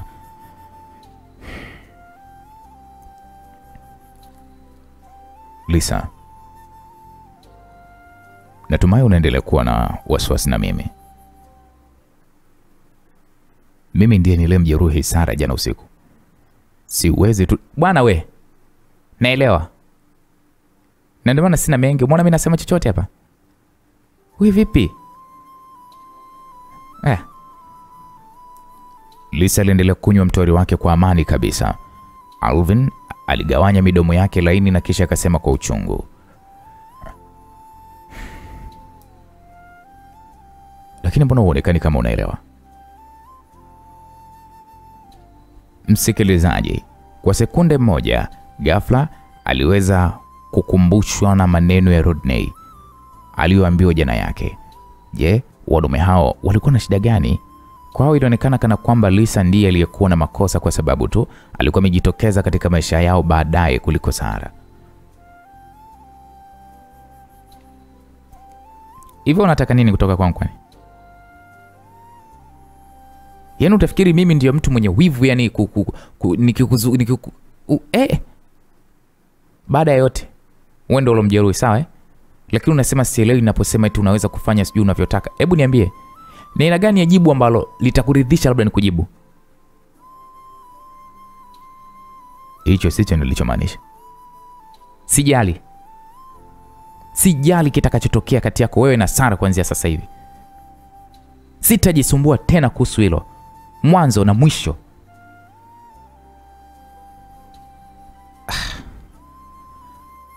Niamini ninaposema kwamba wewe pekee ndiye ninayekupenda. Baada ya kupona kabisa, mimi nitahakikisha kwamba najiweka mbali na yeye kivyo vyote, wherever. Lisa alichoka kusikia maneno yale tena na tena, lakini Alvin hakuchoka kusema. Lisa alipomaliza kupata kifungua kinywa, alivana na kuondoka pale nyumbani. Ah, unaenda wapi? Kazini. Kuanzia siku hiyo na kuendelea, alijikita kazini kabisa Lisa. Wakati mwingine angetembelea nyumba ya sanaa au kwenda kufanya shopping na Pamela, shoga yake, baada ya kazi. Siku za weekend angefanya kazi ya hisani, kusoma vitabu, kuandika miradi, kufanya mazoezi au kutembea na Bibi Kimaro. Kila siku ilikuwa ni kuleta tija. Kwa upande mwingine, Alvin hakuona tena simu wala ujumbe kutoka kwa Lisa. Siku za nyuma, kila mara alikuwa akipiga simu kuuliza kuhusu aliko na ratiba kwa sababu ya Sara. Hata hivyo, alikuwa ameacha kuuliza na hakutaka kabisa kumpigia simu. Ni kila mara ni yeye ndiye aliyekuwa akimpigia simu kwanza. Meseji zake kila mara zilikuwa zinajibiwa kwa maneno machache tu, na hata alikuwa ameacha pia kujitokeza wakati Sara alipokuja kwa ajili ya matibabu yake. Alipojumuika na marafiki zake Rodney Chester kwenye jumba la klabu usiku, Lisa hakuonyesha nia ya kuandamana naye na hata hakumhoji. Kwa mara ya kwanza alielewa kweli alichokuwa amekimaanisha kwa kusema kwamba hatomsumbua tena. Hisia hii ilimtia wasiwasi Alvin. Hata kazini pia mara nyingi alikuwa akikengeushwa na kujitenga bila kujua. Hansi, unajua, alishangazwa sana na tabia yake ya ajabu. Akamwambia, Bwana Kimaro, kuna kitu kinakusumbua kilini mwako? Alvin alikunywa kahawa yake kabla kuweza kuuliza kwa kawaida.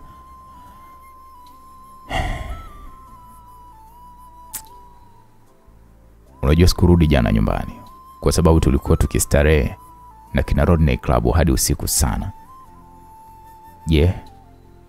Madam waliwasiliana nawe? Hapo awali Hansi angepokea simu nyingi sana kutoka kwa Lisa ikiwa Alvin angechelewa kuweza kurudi nyumbani usiku. Alvin kwa makusudi hakumjulisha jana yake usiku kwa sababu alikuwa ameamua tu kumchunia. Hans alijibu kwa mshangao akasema, hapana, mimi hajanipigia Lisa. Alvin alishindwa cha kusema, alilegeza tai yake kwa kuweza kuchanganyikiwa. Vipi kuhusu bibi Shani, shangazi Yasmini? Lazima tu angewaomba wengine wamchunguze. Hansi akasema hakuna chochote kutoka kwao pia. Bwana mkubwa, una wasiwasi na Lisa? Hapana, sina wasiwasi naye. Sitaki tu wafikirie kupita kiasi tena na kuathiri watoto. Ah, najua unamwazia sana ila unajifanya kupotezea tu. Hansi alijiwazia hayo moyoni mwake. Ah, sasa bwana mkubwa usijali, unajua Lisa anakuwaga na bibi Kimaro muda mwingi sana, na mara kwa mara wanaendaga kucheza karata kwenye makazi ya mzee Ngugi kule. Karata? Bado anaweza kucheza karata katika hali yake ile? Kwa nini sio hivyo eh? Unajua bibi Kimaro anasemaga kwamba Lisa ana bahati ya kushinda kwa sababu ya ujauzito wake, na hata hivyo pia alimwezesha bibi Kimaro kushinda dau la mamilioni shilingi walionekana na bibi Ngugi kwenye mchezo wao mara ya mwisho. Unajua bibi ni mpumbavu sana. Nitakwenda kumtoa mke wangu nyumbani. Alvin akanyanyuka na kusimama wakati simu yake ilipokuwa imeita. Ilikuwa ni kutoka kwa Rodney. Akamwambia Alvin, njoo tena usiku wa leo. Amchoki tu kutoka kila siku? Yaani kila usiku mnatoka mnatoka, amchoki? Rodney alionekana kama kuchangamka sana, akasema waya, Sam yuko hapa pia leo mwanangu, nitakujulisha baadaye. Alvin alikata simu. Dereva akaambiwa ampeleke kwenye makazi ya mzee Ngugi. Familia Ngugi iliishi jirani na familia Kimaro, na kundi la vikongwe liliweza kukusanyika kucheza karata. Kulikuwa kuna vikundi viwili tofauti vikicheza kwenye bustani. Kati yao Bibi Kimaro ndiye aliyekuwa mzee zaidi, lakini hii haikuweza kumzuia kucheza kwa mapenzi. Lisa alikuwa ni mdogo kati ya wanawake. Alikuwa akifahamiana sana na wanawake hao matajiri baada ya kucheza nao mara kadhaa, lakini mmoja wa wanawake waliocheza kwenye kundi lake siku hiyo alikuwa ni Madam Campos, mama wa Jerome Campos.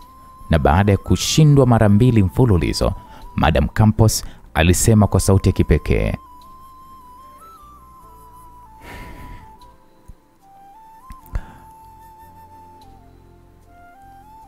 Lisa,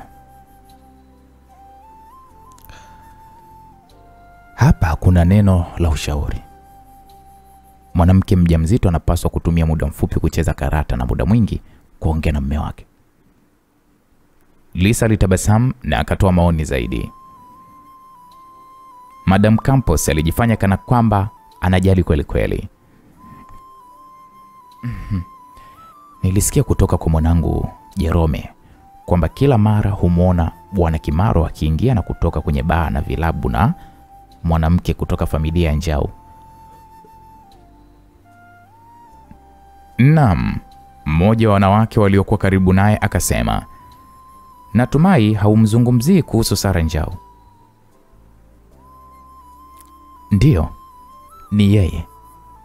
Madam Campos alicheza ile kadi. Unajua wanaume wanahitaji sana kudhibitiwa, la sivyo wataungana na mtu mwingine. Unatoa hoja hapo eh? Lisa alicheza karata yake ya mwisho. Nimeshinda. Madam Campos aliandika cheki huku akisema kwa kejeli. Kwa hiyo mimi ninachokisema wewe ukielewi, si ndio? Naelewa, ila tusikizingatie, alisema Lisa kwa utulivu. Siku hizi si jambo la kawaida tu kwa mwanaume kuchepuka, au? Nilisikia kwamba bwana Campos alikuwa na uhusiano usioeleweka na sekretari wake hapo awali. Kwa wanaume kuchepuka ni kawaida. Shangao unazungumzia ya kwangu wakati ya kwako na wenyewe pia ni mazito kwelikweli.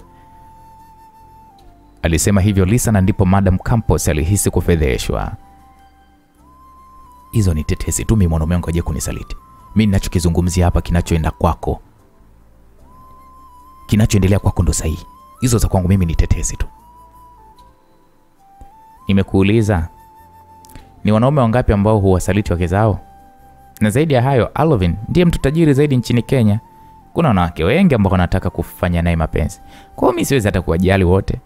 Napaswa tu kuzingatia mambo yangu mimi mwenyewe. Wakati mapacha niliowabeba wanapozaliwa, sitakuwa na wasiwasi hata kuhusu milo yangu katika siku zijazo.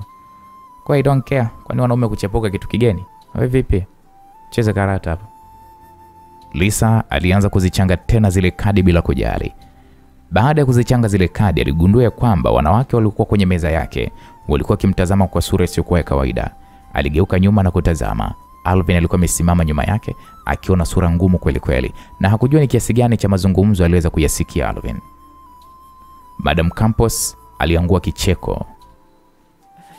Ah, ah, Bwana Kimaro, ume, umesikia eh? Mke wako hajali hata kidogo. Madam Campos, unapaswa kuweza kuzingatia mambo yako wewe mwenyewe.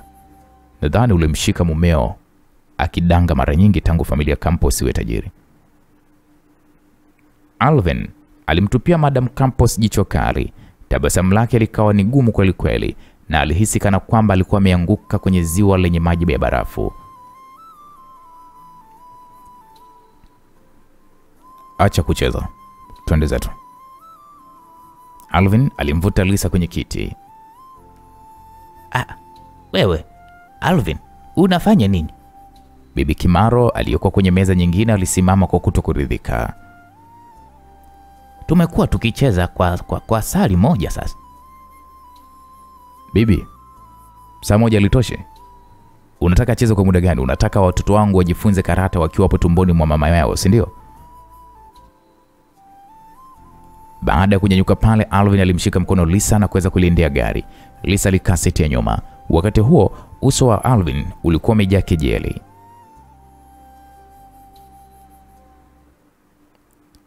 Siku hizi unajali mambo yako mwenyewe tu, si ndio? Nakuuliza wewe, unataka nini tena? Nikikufuatilia shida, nikikuacha uendelee na mambo yako napo pia ni shida. Lisa alipiga miayo ya kivivu. Tabia yake ya kuto kujali ilimfanya Alvin kujawa na chuki.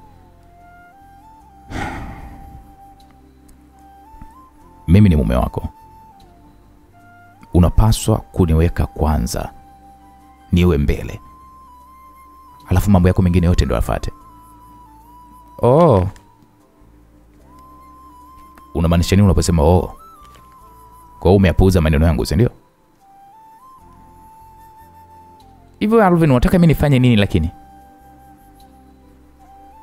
eh? Kila kitu unachokifanya nakosea kwenye maisha yako. Ni kweli naumia na mambo yako mengi tu, lakini inanisaidia nini hata kama nita, nitasema? Na mara zote tunaishia tu kugombana tu. Sasa nimeona nikae kimya ili kuwalinda watoto waliomo tumboni. Hilo nalo pia limekukera. Aya, niambie niweje? Nitafanya tu wala tusijaliani, niambie niweje?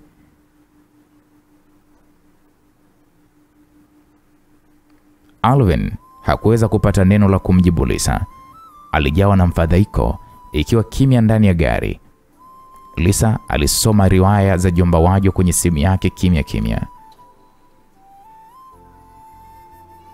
Hivyo haujui kwamba simu ina mionzi mikali ya mwanga? Utaathiri watoto tumboni. Usiendelee kuitazama hiyo simu. Kwa nitazame nini? Nitazame mimi. Alvin alichukua simu yake ya Lisa. Lisa alitazama tu dirishani, hakuwa hata na nguvu ya kuweza kubishana naye.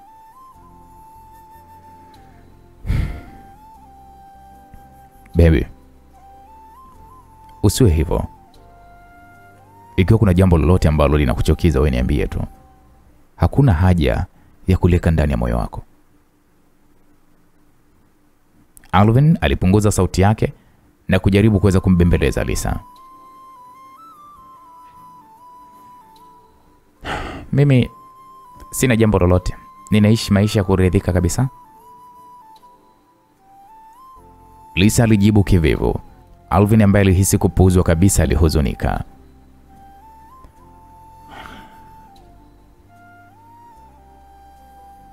So uliniambia kwamba tutakuwa tunaenda wote ninapokuwa natoka na kina Rodney na wengineo hmm?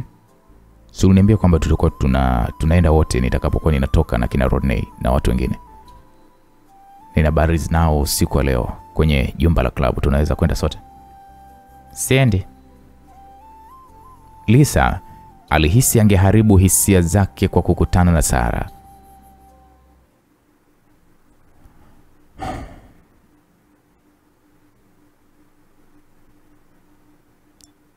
Una wasiwasi ya kwamba Sara atakuwepo huko pia, si ndio? Sina wasiwasi mimi. Mbali na hilo, kuwa na uhusiano wa kimapenzi na mtu mwingine hakukufanyi usiwe mume wangu. Wewe kuwa nao tu.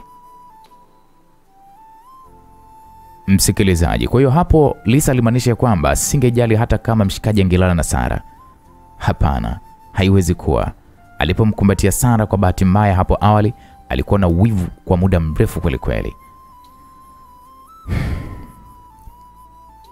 Mtoko wa usiku wa leo ni wa kumkaribisha Sam. Yupo hapa Nairobi. Alvin alisema ili kuweza kumfurahisha Lisa.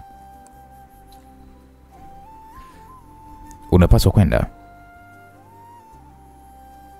Lisa alipigwa na butwa. Sam na yeye walitokea katika nchi moja na jiji moja, na uhusiano wake na Sam ulikuwa ni mzuri sana. Saa hata hivyo sijamwona kwa muda mrefu. Hatimaye Alvin alichangamka kidogo. Unajua, hakutarajia kuwa kuna siku angelazimika kumtegemea Samu kumfurahisha Lisa. Sam ambaye alikuwa akivua samaki ziwa Naivasha muda huo alipiga chafya kwa mujibu wa imani chafya ni ishara ya kukumbukwa na mtu.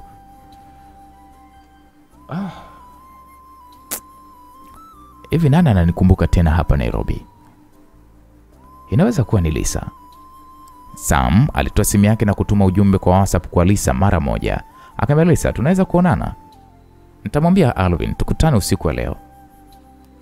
Alvin alikuwa ameshika simu ya Lisa nusura ateme damu kutokana na hasira alipoona ujumbe huo ukionekana kwenye skrini yake. Kwa nini Sam aliwasiliana na Lisa kwenye simu yake bila hata kumtaarifu yeye? Mshikaji huwa pendi hilo.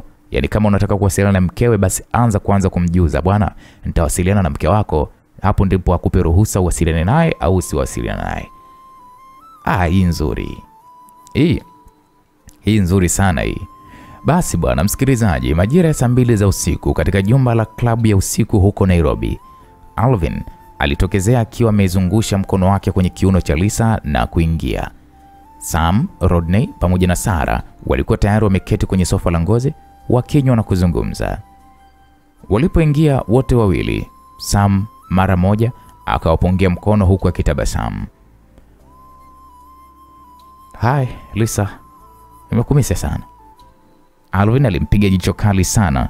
Sam alihisi baridi mara moja, kana kwamba alikuwa kwenye ncha ya kusini ya dunia. Bwana Sam Harrison, nimekumiss pia. Lisa alitabasamu huku akitikisa kwa kichwa. Ni nini kimekuleta Nairobi, Sam? Ah, kuna mkutano wa kibiashara. Sam akikipapasa kiti kilichokuwa kando yake akaambia, keti hapa Lisa. Sam alipomaliza kuweza kuongea tayari Alvin alikuwa amekaa kwenye siti ambayo Sam alikuwa amemwekea Lisa. Lisa alivutwa na Alvin kukaa upande mwingine. Kuona ya kwamba kulikuwa kuna mtu mkubwa kati ya Lisa na yeye, uso wa Sam ukapooza ghafla. Hujaridhika na mimi kukaa hapa, si ndio? Ah, hapana Alvin, hapana, mimi nimeridhika. Samu alitabasamu, lakini ilikuwa ni kwa unyonge. Sasa Sara ambaye alikuwa ameketi upande mwingine alificha macho yake yenye giza. Alitabasamu kwa kusema, Alvinik, hatimaye umemtoa mke wako au leo eh? Nimefurahi sana kwa sababu mimi ndiye mwanamke pekee ninayefuatana na nyinyi kila wakati. Lisa alitabasamu bila kufafanua na kumtazama Alvin.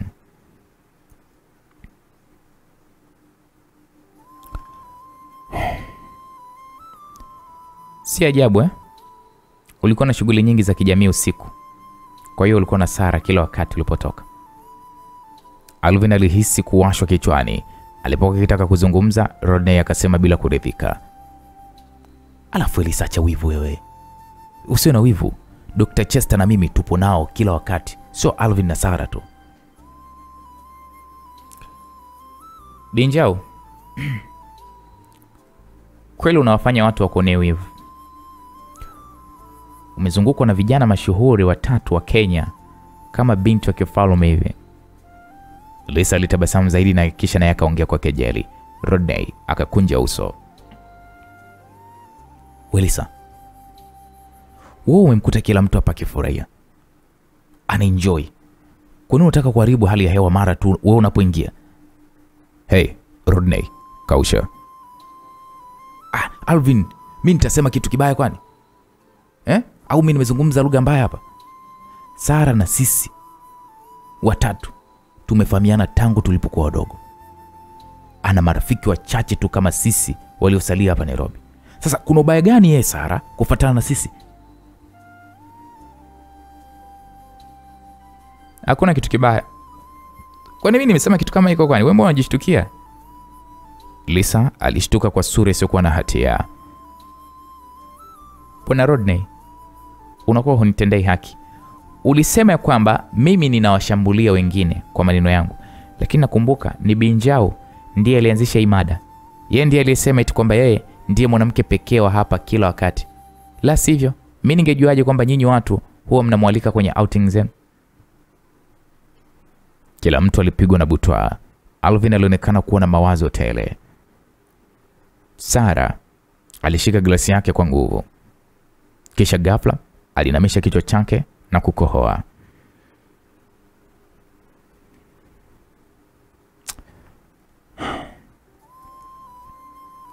Sara, vipi? Uko salama? Koo lako bado halijatulia?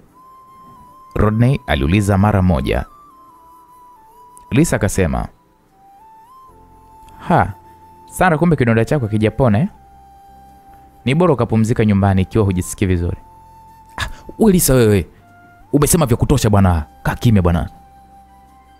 Rodney hakuweza tena kumvumilia Lisa, akamwonya mara moja, unapaswa kuelewa vizuri, Sara alinyongwa na Alvin kwa sababu alikuwa anatibu ugonjwa wake. Wewe kama mke wake umefanya nini? Sio tu kwamba huna shukrani, lakini hata pia unakosa huruma. Rodney, unawezaje kusema hivyo? Siku ile sio yule ulioniambia kwamba Alvin na Sara bado wanahisia kwa kila mmoja na kuweza kuniambia kwamba niachane nao. Katika hali hiyo, nimshukuru kwa lipi? Wakati aliumia akiwa anamtibu mpenzi wake. Lisa aliposema hivyo, hofu ilitanda machoni kwa Rodney kwa jinsi alivyokuwa akimtizama, ni kana kwamba alitaka labda kumla nyama akiwa hai. Msikilizaji, sura za Sam pamoja na Alvin zilibadilika kwa kusikia maneno hayo, hasa hasa Alvin. Kifua chake kilikuwa kikitoka kwa hasira kwelikweli. Rodney, ulimtafuta lini na kumwambia maneno hayo?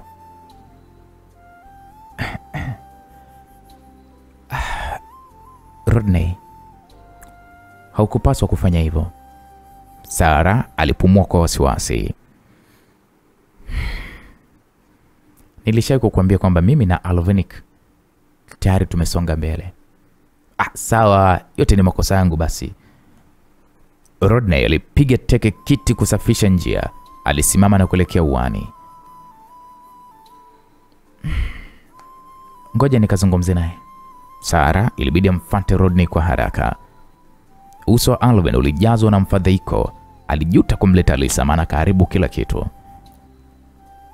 Mbona hukuniambia kuwa Rodney amekuambia maneno hayo? Kama ningelijua hilo, ningekusaidia kumpa somo hali, hala, somo kali sana. Uh, Lisa, Rodney huwa ni mropokaji tu, kwa hiyo usiweke maneno yake moyoni.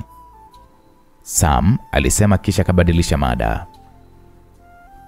Unaonaje tukienda kucheza pool? Lisa alitikisa kichwa kwa kumwambia sawa. Alitembea kuelekea kwenye pool table akiwa na Sam. Halven akasema kwa wasiwasi, oya, una mimba wewe, haifai kwako kucheza pool table. Kwa nini nisicheze huku, wewe unatazama pembeni?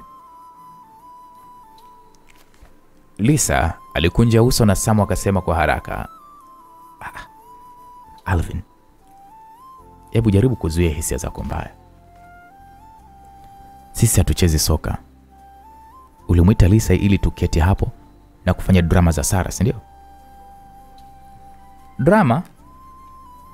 Lisa nusura anguke kicheko. Sam, okay, sawa. Sikiliza Alvin, nitakuwa niko makini. Unaweza kukaa pembeni, usitusumbue. Sauti ya Lisa ilikuwa shwari kabisa. Alvin alichanganyikiwa kupita kiasi. Mtazamo wake ulikuwa ni mbaya zaidi kuliko hata mtazamo wake kwa Sam. Mpenzi wangu, kwani wewe unataka kula nini? Niambie basi, mimi nitakuagizia chochote. Baada ya Alvin kuondoka, hatimaye Sam alimwangalia Lisa na kusema kwa upole, pole se, lazima ulikuwa na wakati mgumu siku za hivi karibuni, si ndio? Machozi alimtoka Lisa nusura kulia, lakini aliyazuia na hakuonyesha hisia zake. Hivi hunilaumu mimi? Nilidhani ungekuwa upande wa Sara pia. Mi sina ukaribu huo na Sara. Wewe ndo unatoka na mimi jiji moja. Mhm. Watazamaji ndo wanaona mchezo vizuri. Niliona sasa hivi ya kwamba Sara si mtu wa kawaida hivyo.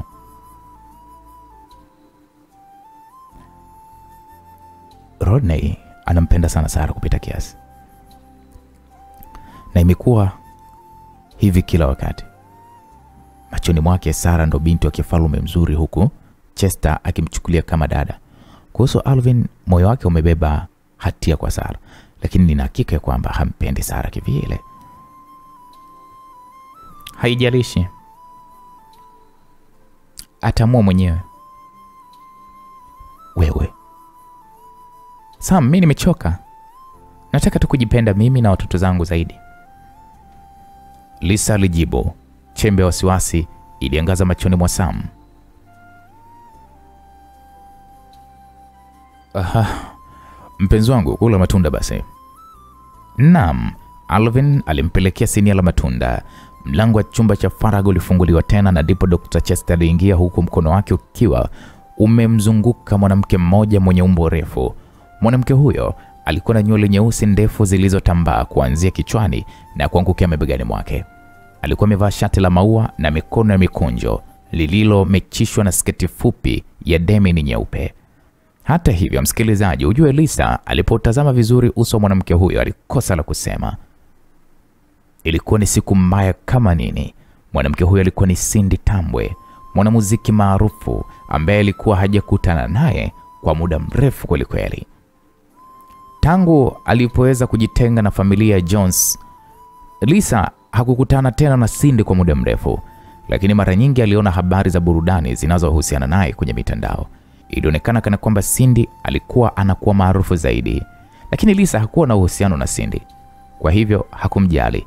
Lakini jambo la kushangaza ni kwamba Cindy sasa alikuwa akishirikiana na Dr. Chester. Lisa akakumbuka Pamela alishai kumdokeza kwamba Cindy alipata bwana tajiri jijini Nairobi. Akili yake sasa ndipo ikafunguka Lisa baada ya kumwona akiwa na Dr. Chester. Hivi Alvin na marafiki zake walikuwa na matatizo gani? Dr. Chester hakutaka mwanamke mzuri kama Charity, bali alimchagua Cindy ambaye alikuwa na sura ya kuchongesha. I say, kumbukumbu ya Alvin sasa haikuwa nzuri, hivyo hakumkumbuka kabisa Cindy, lakini Sam alimtambua mara moja. Oh,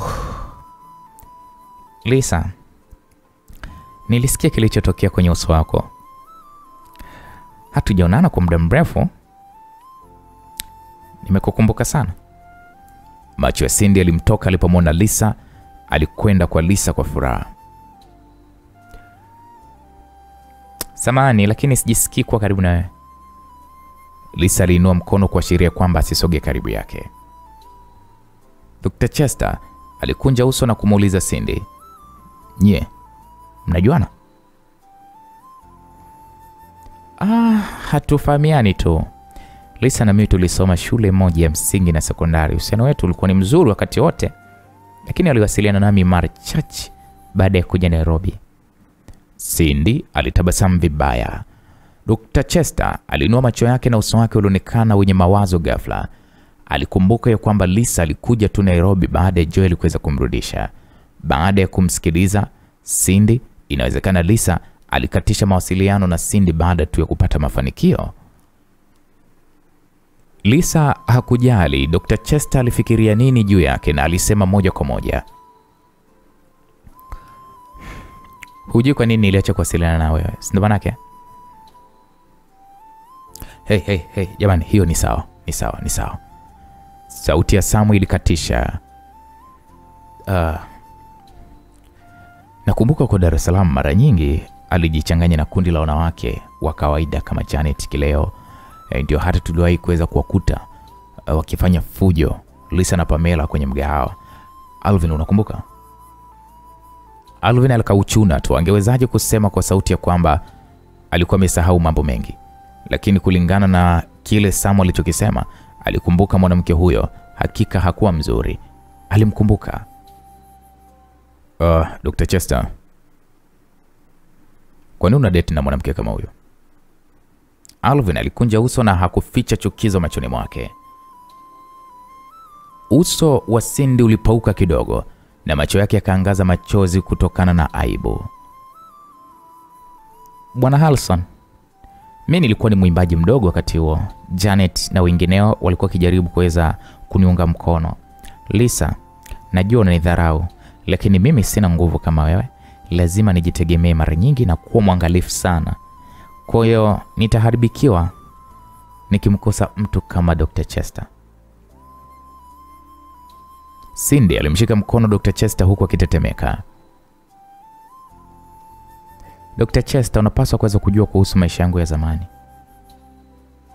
Hebu wacha iliyopita yawe ya zamani. Dr. Chester aliinua tabasamu la kustajabisha huku akipiga piga nyuma ya mkono wake. Nenda ukaketi. Dr. Chester, huyu ndiye mpenzi wako mpya? Yeye ni mrembo sana. Wakati huo Sara na Rodney walikuwa wanarudi. Sara alimsogelea Cindy huku akitabasamu na kumshika mkono. Wow, inapendeza usiku wa leo kwa sababu nimepata kampani ya wanawake wenzangu pia. Hey, kwa nini unalia? Hakuna kitu. Cindy alinamisha kichwa chake na kufuta machozi yake kwa haraka. Msikilizaji, Sara mara moja akahisi damu yake ikiendana na Cindy. Alijihisi faraja kuwa naye, utadhani alikuwa rafiki yake wa siku nyingi. Akaambia twende tukaimbe nyimbo kadhaa. Lisa aliwatazama wale wanawake wawili bila hata kusema kitu. Walionekana kuendana kabisa kabisa, walikuwa ni pea iliyotengenezwa mbinguni. Laiti angejua, bora hata singeenda. Muda si muda, muziki ulianza kuchezwa katika chumba cha faraga. Lisa aliutambua wimbo huo mara moja. Ulikuwa ni wimbo Bruno Mars, Count on Me. Oh yeah, ukijikuta umekwama katikati ya bahari, nitasafiri duniani kukutafuta. Ukijikuta umepotea gizani na huoni, nitakuwa nuru ya kukuongoza. Yeah.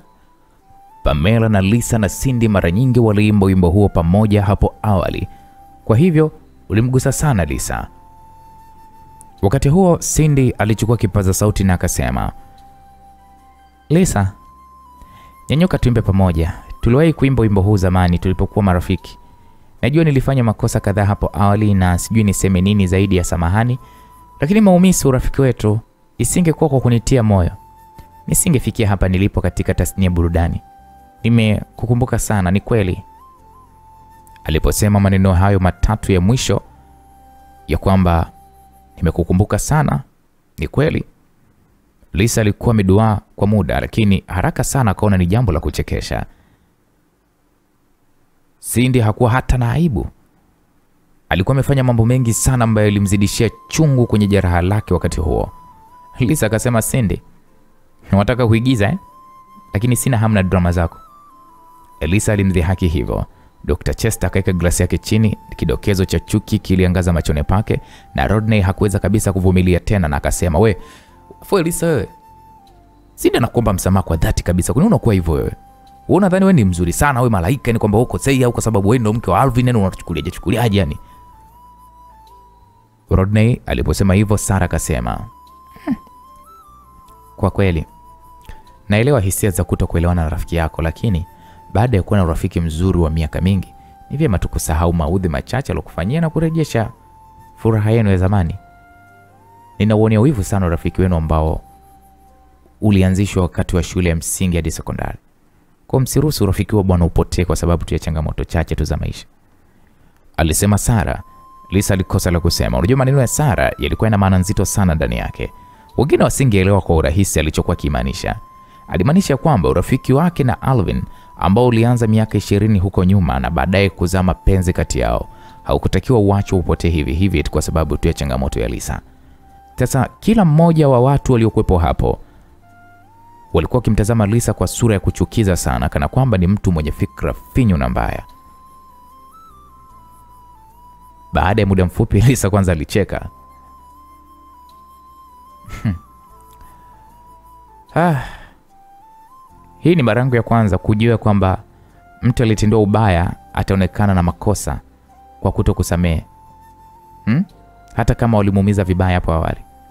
sindi sasa aniomba msamaha wa kinafiki kwa sababu anajua nipo juu zaidi yake. Nilipokuwa naporomoka miezi kadhaa nyuma, alimunga mkono Lina kuninyanyasa kwa kila nafasi waliokuwa naipata. Msamaha wake utakuwa na maana gani kwangu? Lisa aliweka kwanza chini fimbo ya kuchezea pool. Sichezi tena, naona sistahili kuendelea kuwepo hapa, nisije nikaharibu hisia za watu wengine. Lisa aligeuka na kuanza kuondoka. Baada ya kuyasema hayo, Alvin alimshika mkono kwa haraka, kisha akasema, Lisa, ah, Alvin we, acha kumdekeza huyo bwana, mwacha aondoke bwana. Wewe tumechoshwa na kabisa na mke wako bwana, amekuwa msumbufu sana tangu alipotokea. Kila mtu alikuwa ametulia hapa, kabla hata hajaje asepe bwana, mwache aende tu bwana. Rodney alisema kwa sauti ya ukali. Lisa alitazama nyuma na kumpiga jicho la chuki. Kusema kweli, kukaa na watu wasiokuwa na akili kama nyinyi pia inachosha vile vile. Wakati huo uso wa Dr. Chester ulibadilika pia, akasema kwa ukali kuliko alivyowahi hapo kabla. Wa Alvin, mwondoe na usije naye tena siku nyingine. Ya vizuri tu, kwanza mimi sina mpango wa kujiunga na nyie tena, labda mjue hilo. Lisa alitupa mkono wa Alvin na kuondoka. Alvin aliotazama Dr. Chester na Rodney kwa hasira kabla ya kuweza kumfuata mkewe. Msikilizaji, baada ya wawili hao kuweza kuondoka, Cindy alionekana kuwa na sura ya wasiwasi na sura yenye majuto. Ah, ni kosa langu. Kama nisingemwomba Lisa msamaha, hili lisingetokea. Ah, wewe bwana, wewe unakosa, wewe unakosa lolote. Lisa ndo mwenye kiburi na jeuri, yaani ukogo vile yule. Rodney alisema hivyo.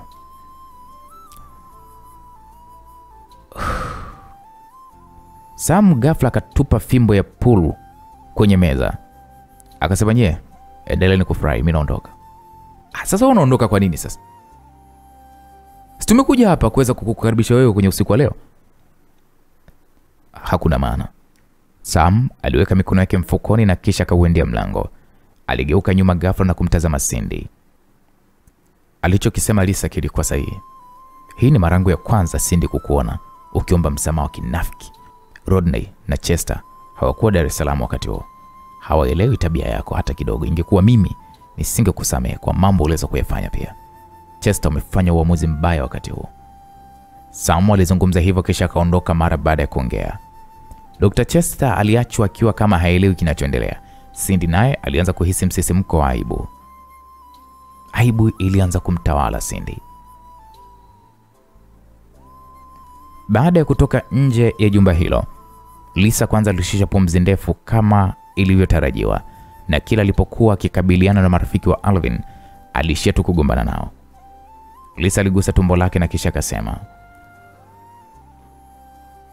ah, samani watoto wangu, niliahidi sitakasirika, lakini ah, sikuweza kujizuia. Lisa, nitakurudisha nyumbani, nitamwambia dereva aendeshe gari. Alizungumza hayo Alvin huku akiwa amemshika mkono Lisa. Lisa alikaa kimya. Akiwa njiani kurudi nyumbani hakuzungumza neno lolote lile. Pia Alvin aliusoma uso wa Lisa kwa wiziwizi, macho yake yalionekana kuchoka. Samahani, wajua sikutakiwa kukupeleka huku leo. Alichokisema Rodney kilikuwa ni kibaya mno. Uko sahihi, sitaki tena unipeleke kwa marafiki zako wakati mwingine. Lisa alijibu kwa utulivu mno. Kwa kweli bado alihisi kukata tamaa mwili mwake. Kila alipokuwa akikabiliana na kundi la marafiki wa Alvin, kila mara alijihisi kuwa anapambana nao peke yake. Alvin hakuwahi hata siku moja kuchukua upande wake kwa msimamo thabiti. Hakuweza hata kukumbuka ni mara ngapi hali kama hiyo ilikuwa imetokea. Gari lilipoweza kusimama, Lisa alishuka kwenye gari mara moja, kimya kimya. Ah, mpenzi wangu, bebe wangu, Alvin alimuita kwa nyuma, lakini Lisa hakutazama nyuma. Hatua kwa hatua, Alvin alianza kuwa na hasira pia. Hivyo Lisa, unataka nini eh? Utanionyesha hii tabia mpaka lini? Lisa alisimama na kugeuza kichwa chake. Labda nitaacha utakapoacha kujumuika na Rodney na wengine. Alvin alichoka ghafla kwa jibu hilo. Ingawa hakuweza kufurahishwa na Rodney na Chester, alikuwa amewajua kwa miaka ishirini. Walikuwa wameongozana naye kwa njia panda na nyembamba. Haikuwa kutia chumvi kusema kwamba walikuwa ni ndugu walio walioapishwa. Nilijua tu kwamba hautakuwa tayari. Lisa alitoa tabasamu la kuweza kujidharau, kisha akageuka nyuma na kuanza kuondoka. Kwa kusema ule ukweli, alielewa kuwa ndege wafananao huruka pamoja. Rodney na Dr. Chester walikuwa wamekwisha kabisa kwa wale wanawake wawili, hata waliwachukulia kama mabinti wa kifalme.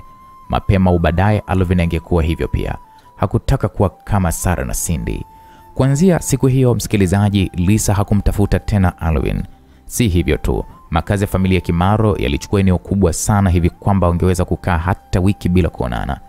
Alvin alikuwa na hasira nyingi sana ndani yake, lakini hakuwa na pa kuzitolea. Msikilizaji, ilikuwa ni siku ya Jumapili. Sara alifika nyumbani kwa mzee Kimaro kama kawaida kwa matibabu ya Alvin. Alipoingia ndani, alimsikia Alvin akishindwa kujizuia. Lisa yuko wapi? Yeye ndiye aliye aliyetaka mimi ni- nipatiwe matibabu kwangu hapa nyumbani. Dkt. Nyasia anakuja, lakini bado sioni hata kivuli chake humu ndani. Lisa anatembea mara nyingi na bibi Kimaro, shangazi Yasmini alisema kwa uso wa uchungu. Alisema yeye sio daktari na hatakuwa na msaada mkubwa kwako, kwa hivyo hatakiwi kuweza kuwasumbua nyinyi wawili. Kichwa cha Alvin kilikuwa katika maumivu ya hasira. Maneno ya aina gani hayo? Yeye ndiye aliyekuwa akimhofia kuwa na uhusiano wa kimapenzi, kana kwamba anajihadhari na mwizi, lakini ghafla akaacha kabisa kumfuatilia. Hii ilimaanisha nini? Sara aliumia ndani kwa ndani kisiri. Hakutarajia hisia za Alvin kwa Lisa zingekuwa za ndani kabisa kiasi. Ilikuwa ni muda mrefu sana tangu arudi, lakini bado uhusiano wake na Alvin haukuwa karibu zaidi.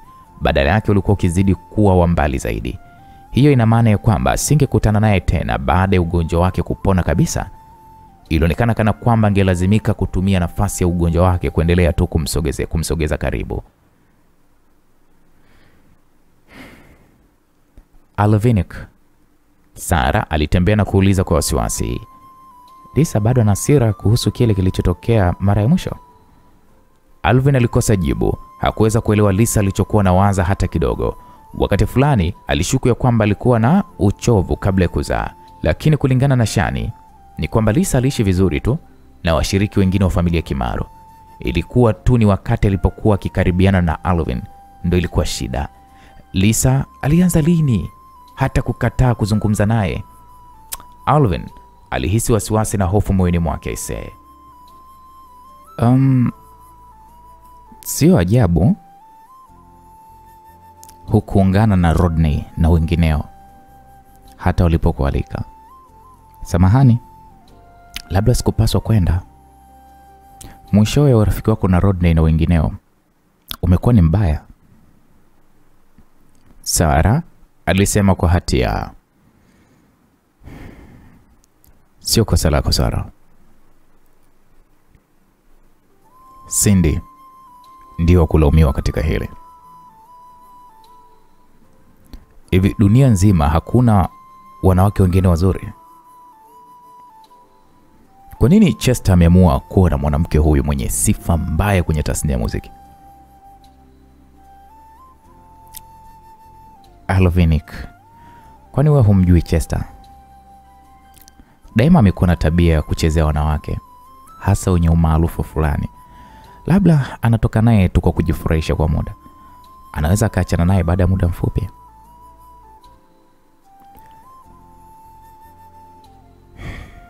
Wacha si tuanze matibabu. Da, okay, sawa. Msikilizaji, katika chumba cha matibabu, Sara alicheza wimbo wa ajabu kwenye simu yake. Wimbo huo haukuwa wa Kiswahili na ulisikika kuwa wa zamani sana. Alvin hajawahi yani, hajawahi kusikia kabisa wa wimbo. Akamuuliza, kwa nini umeucheza wa wimbo leo? Um, tunabadilisha hisia zako kwa njia nyingine leo. Huu sio wimbo in search. Wahindi wanaitaga mantra. Sara akatoa sarafu ya zamani. Baadaye utaangalia sarafu hii kwa umakini.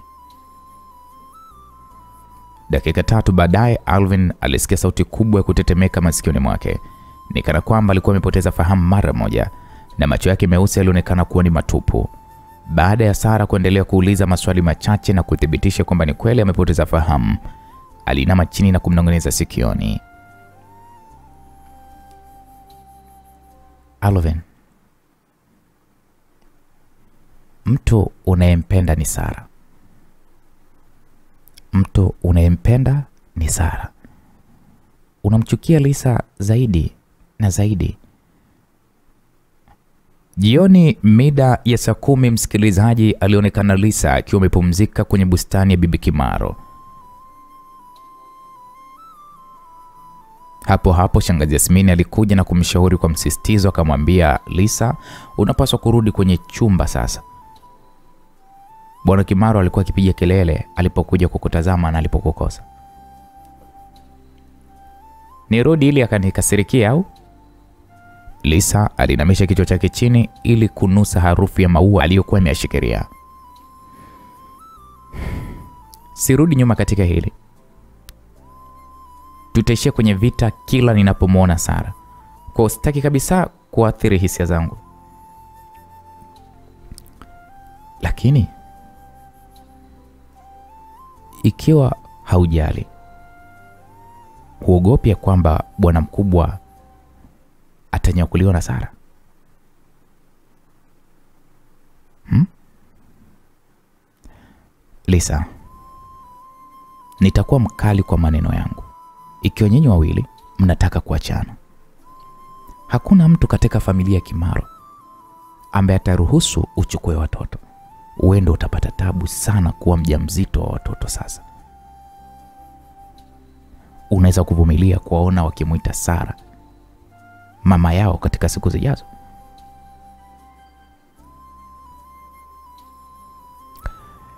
Huo ndo ukweli. Shani akaitikia kwa kichwa.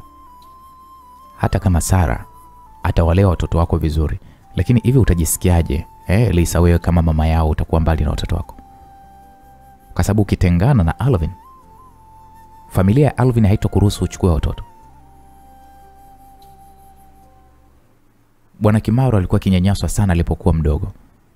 Bibi Kimaro ni mzee sasa hivi, hataweza kushughulika na watoto, kwa lazima watoto watalelewa na Sara. Naam, utulivu machoni mwa Lisa ulitanda taratibu. Asingeweza kamwe kuruhusu Sara kuwa mama wa kambo wa watoto wale. Mwanamke mwovu kama Sara ange, ange, yani, ange sijui nisemaje, angewanyanyasa ise. Alikuwa amechoka sana kwa siku za hivi karibuni, hivyo aliendelea tu kuepuka tatizo hilo. Shangazi Yasmini pamoja na Shani walikuwa wamempa ukumbusho wakati huo wa umuhimu.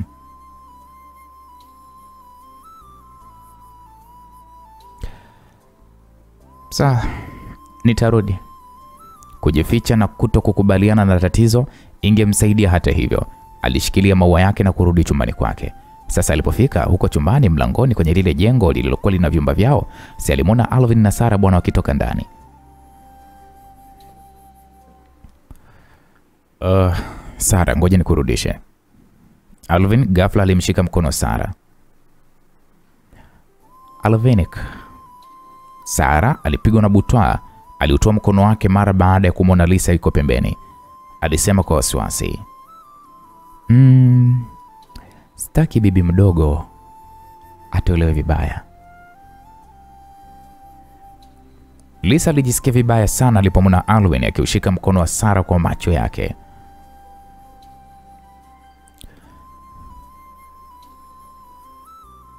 Alvin, wewe wewe, kwani umekuja? Alvin alimkatisha Lisa na kumpa jicho la kuudhi. Kulikuwa kuna jua kali la kiangazi Nairobi hiyo siku, lakini Lisa alihisi kama ubaridi wa hewa ghafla. Lisa alihisi ubaridi hewani, yani ghafla tu, na hata kama alikuwa amemkamata kwa bahati mbaya, sio tu kwamba hakujielezea, lakini pia hakuficha karaha aliyokuwa nayo baada tu kumwona Lisa akitokea. Angewezaje kufanya hivyo? Alvinik, usiwe hivyo hmm? Yeye ni mke wako huyo. Hata hivyo, hapo Alvin akashtuka. Kama sikuamini kuwa umekufa hapo awali, asingekuwa mke wangu. Twende Sara, nitakurudisha nyumbani. Baada ya kuongea maneno hayo, alimshika mkono Sara na kuondoka zake. Aisee, nyie Lisa Lisa kama vile kama damu mwilini ina, ina, ina yaani kama imepoa kama imechemka kama ya vuguvugu. Machozi alimtoka Lisa huku akisema kwamba Alvin, unathubutu kuondoka? Ukiondoka sitakusamehe kamwe. Alvin akatazama nyuma. Mwanamke nyuma yake alikuwa amevaa mavazi mapana ya ujauzito. Alikuwa na ujauzito wa miezi miwili, lakini umbo lake lilikuwa ni dhaifu, kana kwamba upepo ungeweza kumpeperusha wakati wowote. Msikilizaji, Lisa alikuwa amepungua kakonda, ameisha, hana mwili, yaani unaambiwa tangoje ibonge. Basi bwana, wakati huo moyo wake ulipiga kwa uchungu kweli kweli. Alitaka kuweza kurudi, lakini akakumbuka sauti kichwani mwake iliyokuwa inasema, mtu unayempenda ni Sara. Lisa si mwanamke unayempenda. Hiyo ndo, yani ndo, ndo kitu kilichokuwa kinakuja akilini mwake Alvin. Sijui yale maneno alikuwa amenong'onezwa kule chumbani na na na na, na, na Sara ilikuwa imemwathiri hivyo. Hi Aluni sakalopoka bwana. Sihitaji msamaha wako hata kidogo. Ninajisikia vibaya sana kukaa mahali pamoja na wewe. Hapo Alvin akamshika mkono Sara na kuondoka bila hata kuangalia nyuma. Nyie, dozi anayoitoa Sara kwa Alvin inambadilisha kabisa akili. Maskini ya Mungu hakuona uso wa Lisa ukibadilika na kuwa kama mfu kwa muda ule. Angewezaje kuwa hivyo ghafla bila huruma? Yule Alvin aliyeapa kumpenda milele alikuwa yuko wapi sasa? Yule Alvin aliyesema hampendi Sara alikuwa yuko wapi? Ghafla Lisa aliona tu mbele yake kile kitendo kikitokea. Alvin anaondoka na Sara. Shangazi Yasmini kwanza ilibidi amshikilie mara moja Lisa. Shani ilibidi amuite daktari wa familia kwa haraka mno. Bibi Kimaro na mzee Kimaro walisikia habari hiyo na mara moja ikabidi wakimbia waliposikia kwamba Alvin amemshika mkono Sara na kuondoka naye. Aise, Bibi Kimaro alipandwa na hasira. Hivi huu ni ujinga gani eh? Mkewe ni mjamzito lakini bado tu anashikamana na mwanamke mwingine kutoka nje. Mwambieni arudi hapa mara moja. Ah, tayari nimejaribu kumpigia simu lakini bwana mkubwa apokee simu zangu. Anti Yasmini alisema hivyo bila ya msaada. Ni mjinga sana Alvin. Em, nipeni mi simu. Mzee Kimalo kweli alichukua simu na kupiga namba ya Alvin. Babu, unataka nini? Alvin, mkeo yupo katika hali mbaya. Rudi hapa sasa hivi. Sijali kilichotokea kati yako wewe na Sara. Sijali kabisa siku nzima za nyu... wewe, lakini wewe, wewe ni mwanaume uliooa sasa hivi. We ndiye uliyemwoa kwa hiari yako, binti wa watu. Unapaswa kuchukua jukumu sasa hivi, kwa kuwa yeye ni mjamzito. Mwanaume anapaswa kuwajibika kwa matendo yake yeye mwenyewe na si upuuzi unaofanya wewe. Alvin alinyamaza upande wa pili wa simu. Alivyotaka tu kuongea, sauti ya mwanamke aliyekuwa akipiga kelele kwa maumivu ilisikika. Alvin akasema, babu, mimi na jambo la kufanya sasa hivi, kwa hiyo siwezi kuzungumza na wewe, na hata mimi pia mimi sio daktari, kwa hiyo unaweza tukampeleka kwa daktari ili akawe mzima. Nitawalea watoto. Kuhusu Lisa, ninaweza kumpa talaka na nikampa kiasi chochote cha pesa anachotaka. Alvin alipozungumza hivyo alikata simu, na baada ya kumaliza kuongea, mzee Kimaro karibu ateme damu. Je, hayo ndio maneno ambayo mtu kama Alvin angeyasema? Kwa nini alikuwa na mjukuu asiyekuwa na moyo na asiyekuwa na shukrani? Aligeuka nyuma na kumwona Lisa ambaye alikuwa amezinduka. Hakuna aliyejua alipoamka. Alimtazama kwa macho yaliyojawa na tabasamu lakini na huzuni. Lisa akasema, babu, Alvin anataka kunipa talaka na kunipa hela. Lisa alikuwa na sura ya huzuni. Mzee Kimaro alijikaza, akakumbuka kwamba kila mara ilibidi aweke loudspeaker kwa sababu alikuwa ni mzee, kwa hiyo hasikii vizuri. Lisa alikuwa amesikia kila kitu. Bibi Kimaro naye alikuwa na hofu, aliogopa ya kwamba Lisa atakuwa katika hali ya mshtuko, na zaidi ya hayo alikuwa na mimba ya mapacha sasa.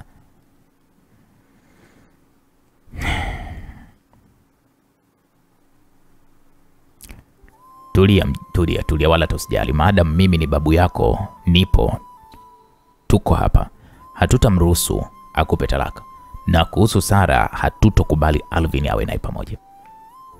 Babu, hukukubaliana na Alvin awe pamoja na mimi hapo awali, lakini bado alinioa na mwishowe utawezaje kumzuia simoe Sara? Lisa aliyesema hayo Alvin alikuwa akiwatawala familia Kimaro. Ikiwa alitaka kufanya jambo lolote kwa njia yake, hakuweza kuhitaji hata kuweza kuwasikiliza wale wazee wawili. Sura ya bibi Kimaro ikabadilika. Hivi ni nini kinaendelea kati yenu nyinyi wawili? Hebu tuambie ukweli ili tuweze kujua. Tuligundua ya kwamba hamkuwa mkizungumza hapo awali, lakini tulifikiri ya kwamba ni mambo ya kawaida ya kwenye mapenzi, tukajua mtarekebishana tofauti zenu. Lisa alihisi baridi kali kwenye kifua chake. Yeye pia hakujua shida ni nini. Je, Alvin alikuwa amechoshwa na yeye kwa kuto kuzungumza naye kwa muda, hivyo alitaka kuweza kurudiana na Sara? Kwa kweli hakutarajia Alvin kuwa mkatili kiasi kile. Lisa hakutarajia kabisa.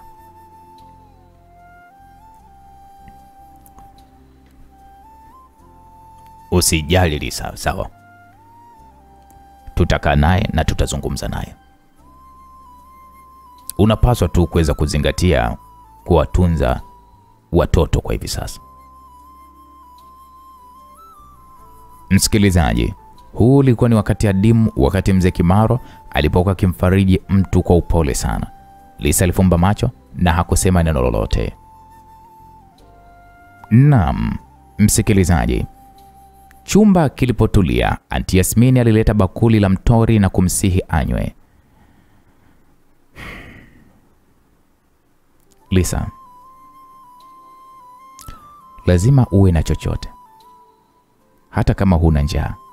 Sawa, watoto walio tumboni mwako wanahitaji pia kula.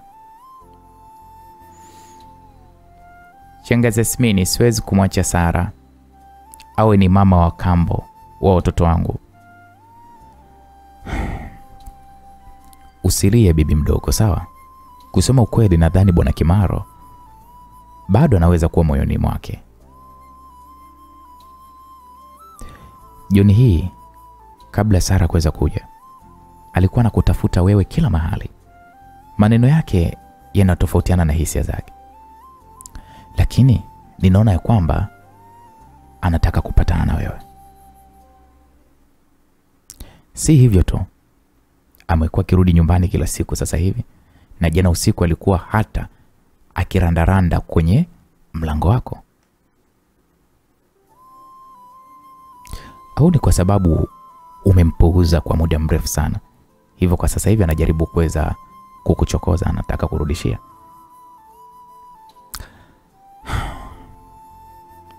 Asingetumia njia hiyo ya kikatili kuweza kunichokoza.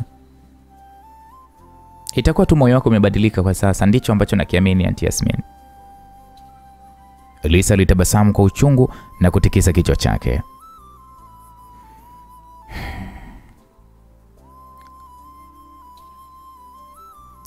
Lakini moyo wake haujawahi kubadilika. Amekuwa akimpenda Sara muda wote. Ah, ah, Lisa, haiko hivyo. Bwana Kimaro anakupenda kweli, sawa? Changazi Yasmini aliona ni vigumu sana kueleza kwa maneno.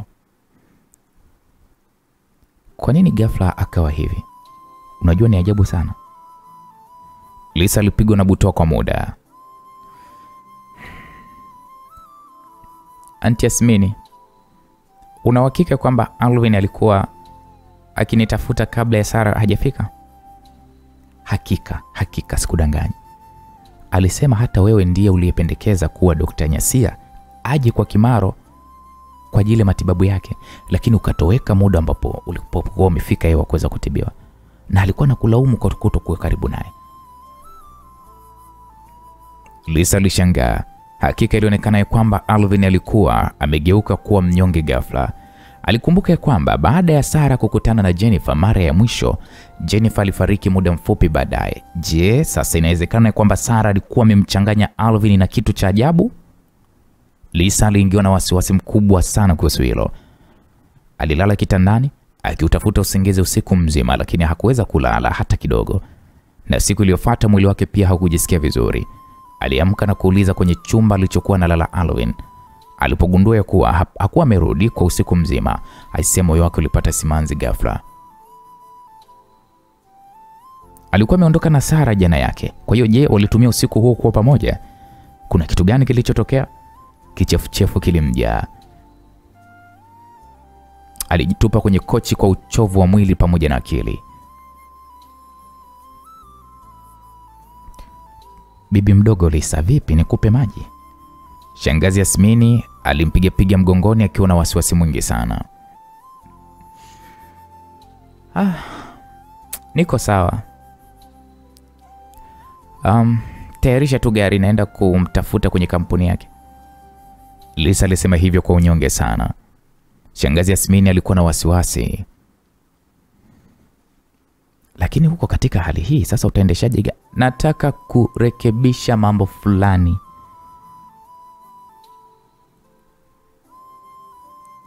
Basi tayarisha gari. Shani naye akasema hivyo.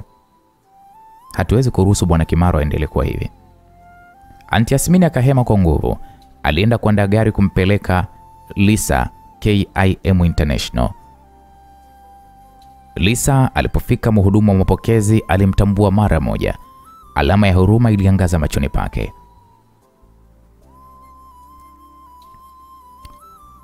Um, bibi mdogo, bosi hayupo huru kwa sasa. Lisa alimtazama huyu mhudumu kwa macho na kumwona kabisa na wasiwasi mwingi. Akamwambia, sikiliza, bado hata kama hayuko huru, hayuko nini, whatever, nitapanda hata kama na shughuli nyingi. Mimi ni mke wake. Lisa akaelekea moja kwa moja huko juu. Aliposukuma mlango wa ofisi ukafunguka, sauti ya Alvin kukasirika ilisikika kutoka ndani akiuliza, ni nani aliyeruhusu aliye- ali- ali- aliyekuruhusu kuingia humu bila kubisha hodi? Sasa kabla hajamaliza sentensi yake, alisimama ghafla na ndipo akamwona Lisa. Lisa aliona kilichokuwa kikiendelea ofisini. Sara alikuwa amekaa kwenye mapaja ya Alvin na tukio lile lilikuwa ni la kuchukiza sana, na hata akatamani kujirusha kutoka juu ya ghorofa mpaka chini. Oh, bibi mdogo. Sara alisimama mbali na mapaja ya Alvin kwa hamaki. Ah, samahani. Hebu acha kujifanya we Sara wewe. Huoni hata aibu ku- ku- ku- kujirahisisha hivyo kwa mwanaume aliyeoa? Lisa hakuweza kuvumilia tena. Alikimbia na kuinua mkono wake na kumpiga Sara kofi moja la usoni, na hata hivyo Alvin alishika kifundo cha mkono wake kabla hata hajarusha kofi jingine. Alvin alimtazama kwa ukali sana. Lisa, hivyo unafikiri wewe ni nani? Unathubutu vipi kumpiga Sara? Potelea mbali. Alvin kisha akautupa mkono wa Lisa kwa nguvu. Kama Shani asingemshikilia Lisa, aisee, angeanguka chini moja kwa moja. Shani akasema, bwana Kimaro, huwezi kufanya hivi, bibi mdogo ni mjamzito. Kama unalijua hilo, kwa nini umemruhusu kutoka nyumbani wakati nilikuambia umchunge? Hmm. Unafikiri angeweza kunizuia hmm? Nitakubali vipi mume wangu afatane na mwanamke mwingine na kumkumbatia? Ningewezaje kulala ikiwa hukurudi nyumbani? Bila shaka ulilala naye pia. Alvin aligeuza macho yake na hakujibu, na hata hivyo kukaa kimya kulimaanisha ya kwamba alikuwa akikubali kimya kimya, na wakati huo Lisa aligubikwa na kukata tamaa na huzuni pia. Uso wake ulikuwa ni mweupe kama karatasi. Alvin alikaa kimya kwa sababu fulani. Alihisi maumivu moyoni mwake. Wakati huo Sara akasema ghafla, um, samahani Lisa, jana nilikuwa sijisikii vizuri na eh, kwa hiyo kama hujisikii vizuri ndo kama kuondoka na mume wa mtu, si ndio? Ukaenda kulala naye kwa vile tu ulikuwa hujisikii vizuri. Ye daktari huyo? Ha? Sara langu njau, bila shaka huna hayo mwanamke. Unaweza kuacha kujifanya kuwa huna hatia? Sura lile lione. Lisa alishindwa kabisa kuvumilia kusikiliza maneno mengine. Alishusha pumzi ndefu huku akihofia kwamba angeweza kushindwa kujizuia. Unaweza kuniruhusu niongee na mume wangu faraga? Ikiwa una ujasiri wa kutosha kubaki hapa, basi ninaweza tu kuwaita waandishi wa habari, tunaweza kufanya mazungumzo ya pamoja. Hasira ilitanda machoni mwa Alvin. Hili ni swala la kwangu binafsi, watamfikiriaje Sala ukiwaita waandishi wa habari hapo? ah, ah. Lisa alicheka kwa kejeli. Wasiwasi wake pekee ulikuwa ni sura ya Sara. Vipi kuhusu yeye? Ina maana yeye alikuwa ni mtu wa kumfanyia tu dharau jinsi anavyopenda? Sasa Lisa alivyocheka, Alvin akamuuliza unacheka nini? Kwa nini unacheka? Alvin alihisi kukosa raha na kukerwa na tabasamu lake. Alvinik, acha kurumbana naye, ninapaswa kuweza kuondoka. Sara alichukua mkoba wake pembeni yake, kisha huyo akawa anaondoka. Akasema, mtandao umeendelea siku hizi, waandishi wa habari wakijua kuhusu hili, bila shaka watakuwa watatukosoa kwa maneno makali. Sara, Alvin aliumba kidogo kama ilivyotazamiwa. Ni Sara aliyekuwa akimjali sana, na akamwambia, nitamwambia dereva kurudishe. Sawa, nitasubiri. Baada ya kusema hivyo kwa upendo, Sara aligeuka na kumtupia jicho Lisa, huku mgongo wake ukiwa ume- umemtazama Alvin. Aliondoka. Lisa alikunja ngumi. Moja aliogope kwamba singeweza kujizuia na ku angetaka kumnyonga Sara mpaka afe kweli kweli. Sasa yakufa sasa, ndo angemnyonga mpaka afe kweli kweli. Lisa, ikiwa utathubutu kumumiza Sara, sitokuacha kamwe. Alvin alipomwonya Lisa huku akikunja uso, Lisa akayasogeza macho yake pembeni na kumtazama mwanaume huyo mwenye sura nzuri na ya kupendeza, lakini asiyekuwa na moyo. Ni wazi bado alikuwa ni mwanaume aliyempenda, lakini macho yake hayakuwa ya kawaida kiasi kwamba ilimfanya mpaka aogope. Alikuwa tayari kuamini ya kwamba Alvin alikuwa amebadilishwa moyo na Sara na kuwa ni mkatili. Alvin, mbona umebadilika ghafla? Alitazama moja kwa moja machoni mwa mwanaume huyo. Macho yake yalikuwa ni mekundu na yamevimba. Ulisema wazi ya kwamba una mimi tu moyoni mwako hivi sasa na haujawahi kufikiria kurudiana na Sara. Ulikuwa unanidanganya muda wote, si ndio? Alvin alishikwa na butwa, alionekana kusahau kila kitu. Ni lini alimtamkia hayo maneno? Ilikuwa haiwezekani se. Alvin akakunja uso akamwambia, wewe Lisa, mwanamke ninayempenda muda wote ni Sara, haijawahi kubadilika. Lini mimi nimezungumza maneno kama hayo? Eh, mwili wa Lisa ulimtetemeka. Alitumia sentensi moja fupi tu kukana maisha yake yote ya nyuma. Hii ilimaanisha nini kwake? Lisa kabida amuulize, kwa hiyo yani ulioniambia kwenye jumba la baharini yalikuwa ni uongo? Alvin, ulisema unanipenda katika maisha yako yote. Unawezaje kunifanyia hivi Alvin? Umebadilika ghafla hivi, uone kwamba wewe ni mtu ajabu sana. Usiseme neno lingine, mi naujua moyo wangu mimi mwenyewe. Nimechoshwa na wewe tangu zamani sana. Isingekuwa hao watoto uliobeba tumboni mwako, mi nawe tungeshaachana zamani sana.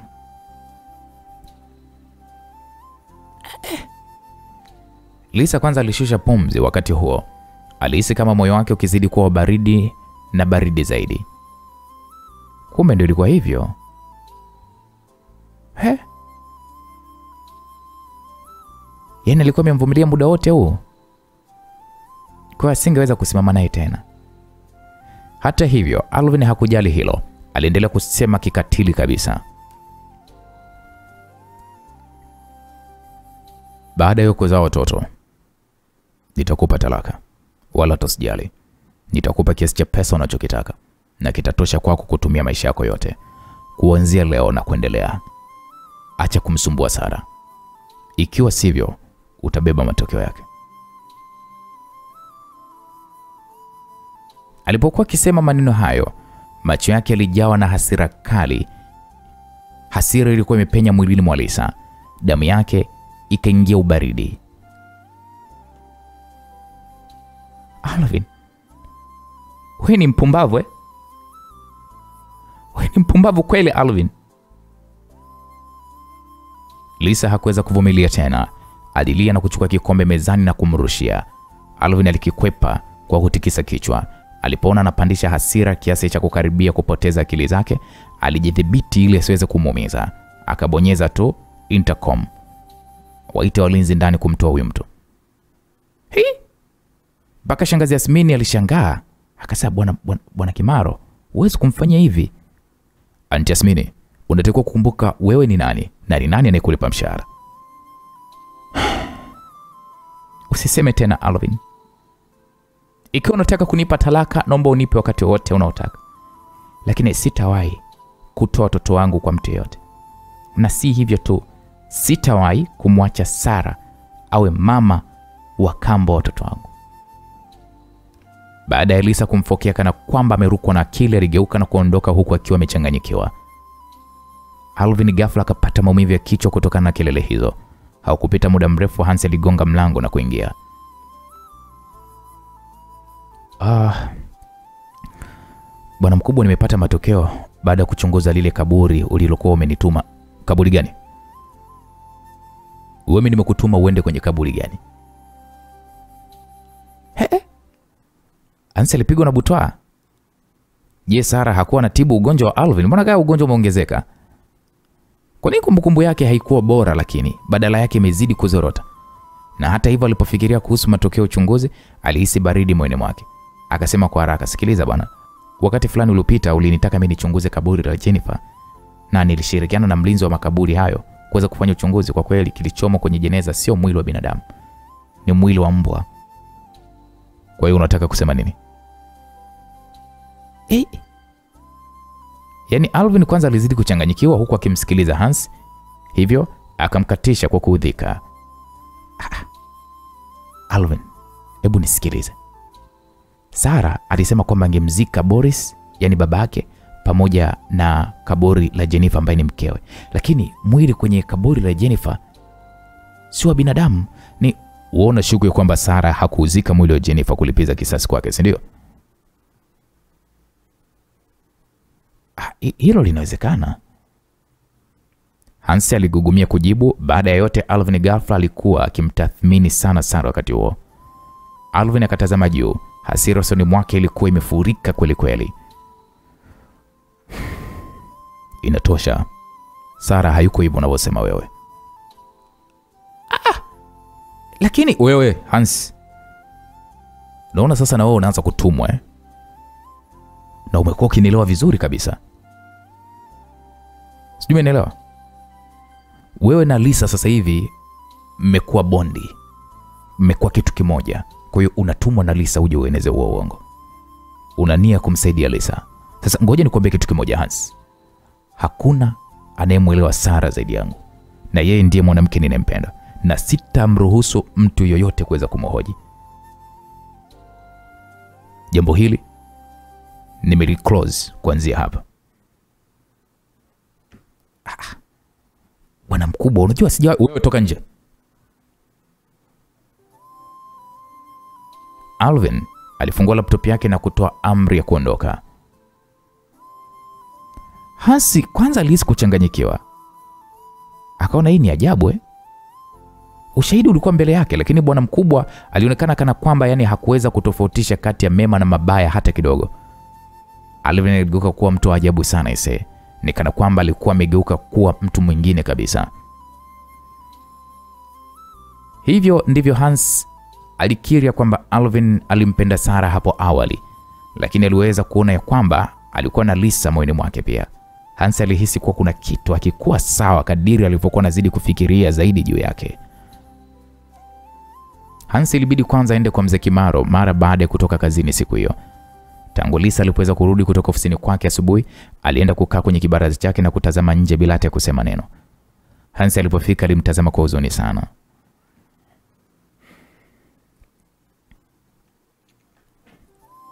Alvin amekutuma uje uniambie nini? Au hana huo uweza tena kuvumilia, hivyo kakwambia ulete hati za talaka, si ndio? Lisa, umelewa vibaya. Bwana mkubwa hajui ya kwamba nimekuja kukutafuta. Ninajua kwamba bwana mkubwa bwana amekuwa akichukulia mambo tofauti sana siku hizi. Nadhani hii sio dhamira yake, amekuwa wa ajabu. Unashuku ya kwamba Sara kuna kitu amemfanyia wakati wa matibabu? aliuliza Lisa kwa sauti ya chini kidogo. Hans alifungua kinywa chake. Muda mfupi baadaye alisema kwa hali ya kuchanganyikiwa, unajua, siwezi kueleza hili kusema kweli, lakini ninahisi kama bwana mkubwa amevurugwa akili. Kweli hapo awali aliniomba nichunguze kaburi la Jennifer. Kuzungumza kimantiki, alipaswa kuwa na shaka kidogo na Sara, lakini matokeo yalipotoka hakujali kabisa. Hii sio kawaida ya Alvin kufanya mambo kwa dizaini hii, na hata kama alipokuwa akimpenda Sara siku za nyuma hakuwahi kuwa mtu wa namna hii.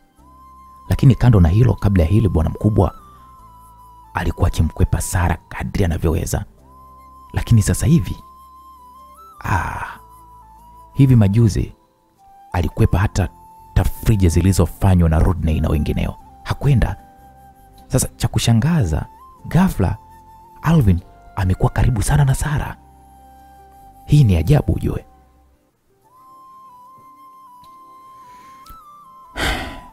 Nilihisi pia anti Yasmin aliniambia kwamba ni kana kwamba Alvin amegeuka kuwa mtu tofauti baada ya kipindi chake cha juzi cha matibabu na Sara, na ndio maana nilijikaza na kwenda kumtafuta kwenye kampuni. Lisa, bwana mkubwa lazima awe amechezewa kisaikolojia.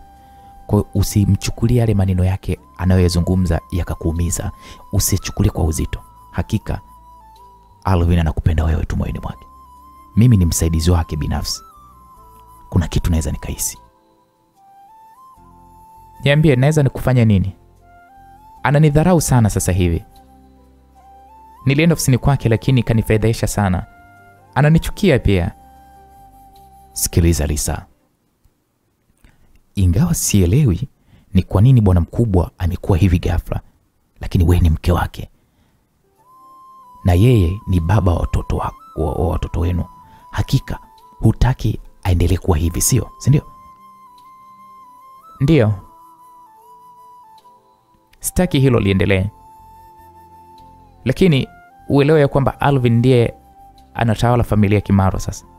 Hata kama wanafamilia wa Kimaro wananiamini, hakuna mimi nitakachoweza kubadilisha ikiwa Alvin mwenyewe hatoniamini. Ana nguvu zote za ushawishi. Mzee Kimaro na bibi Kimaro ni wazee, huku Rodney na Chester wanamwamini Sara sana. Hawatanisaidia chochote. Kwa kifupi, sina msaada. Moyo wa Hans ulizama. Ilibidi akubali ya kwamba alichokisema Lisa kilikuwa ni cha ukweli.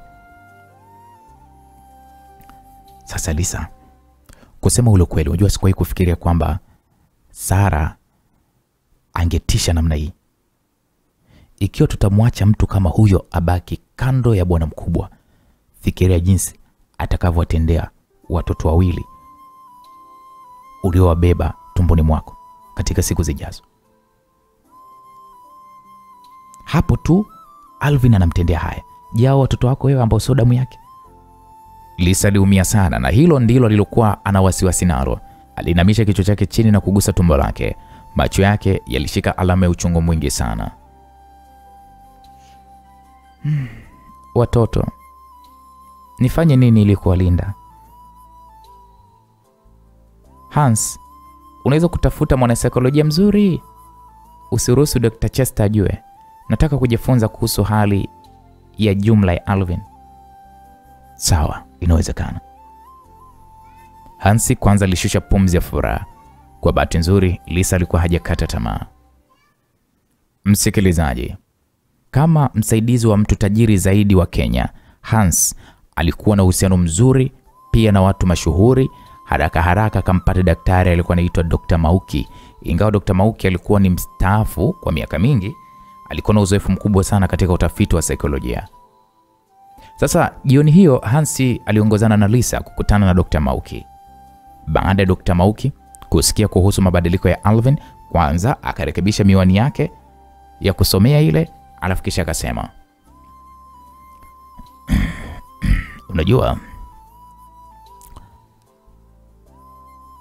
nilipokuwa na majadiliano ya kitaalam na wanasaikolojia wakuu kutoka Ulaya na Marekani, niliwasikia wakitaja ujuzi wa kale ka saikolojia kanakojulikana kwa jina la hypnotic mind control, ambapo unaweza kuharibu hisia na kumbukumbu za mtu na ukamtengenezea hisia za utofauti. Dalili za rafiki yako zinafanana kabisa na hizo. Lisa alishtuka akauliza kwa hamaki, je, inawezekana akaponywa? Um, tayari nimesema kwamba ujuzi huu wa hypnotic ni wa kale sana, yani wa zamani. Marafiki zangu wanasaikolojia kutoka sehemu mbalimbali duniani walisema hivyo tu kwa msingi wa uvumi. Hakuna hata anayejua jinsi ya kufanya. Ustadi huu mbaya umepigwa marufuku sana katika taaluma ya kisaikolojia. Inavyoonekana, hakuna hata mmoja atakayethubutu kujaribu katika hali ya kawaida, kwa sababu kudhibiti ubongo hisia za binadamu ni jambo lisiloweza kutabirika, na mara nyingi hufanyika bila idhini ya mhusika, ila matokeo yanakuwa bora kwa yule anayekwenda kulitenda hilo jambo, kwa sababu ni kinyume cha maadili ya taaluma yetu kubadili akili ya mtu bila idhini yake. Sasa ujuzi huu unatumiwa na watu wenye nia mbaya tu, hivyo ulianza kusaulika polepole, na shangaa sasa hivi tena umemkuta kijana Alvin. Naam, Lisa na Hansi kwanza waliogopa sana. Hawakutarajia kwamba Sara angekuwa ni mkatili kiasi ya kwamba angetumia ustadi wa hypnotic ambao umepigwa marufuku. Yeye akautumia kubadili akili ya Alvin. Alikuwa ni mtu aliyempenda kwa ajili ya wema, au kuna kitu kinachoendelea ambacho wao hawakijui? Msikilizaji, ilikuwa ni bahati kwamba Alvin alikuwa ni sehemu ya asilimia ambayo haikuwa nyuma ya kuweza kurekebishwa.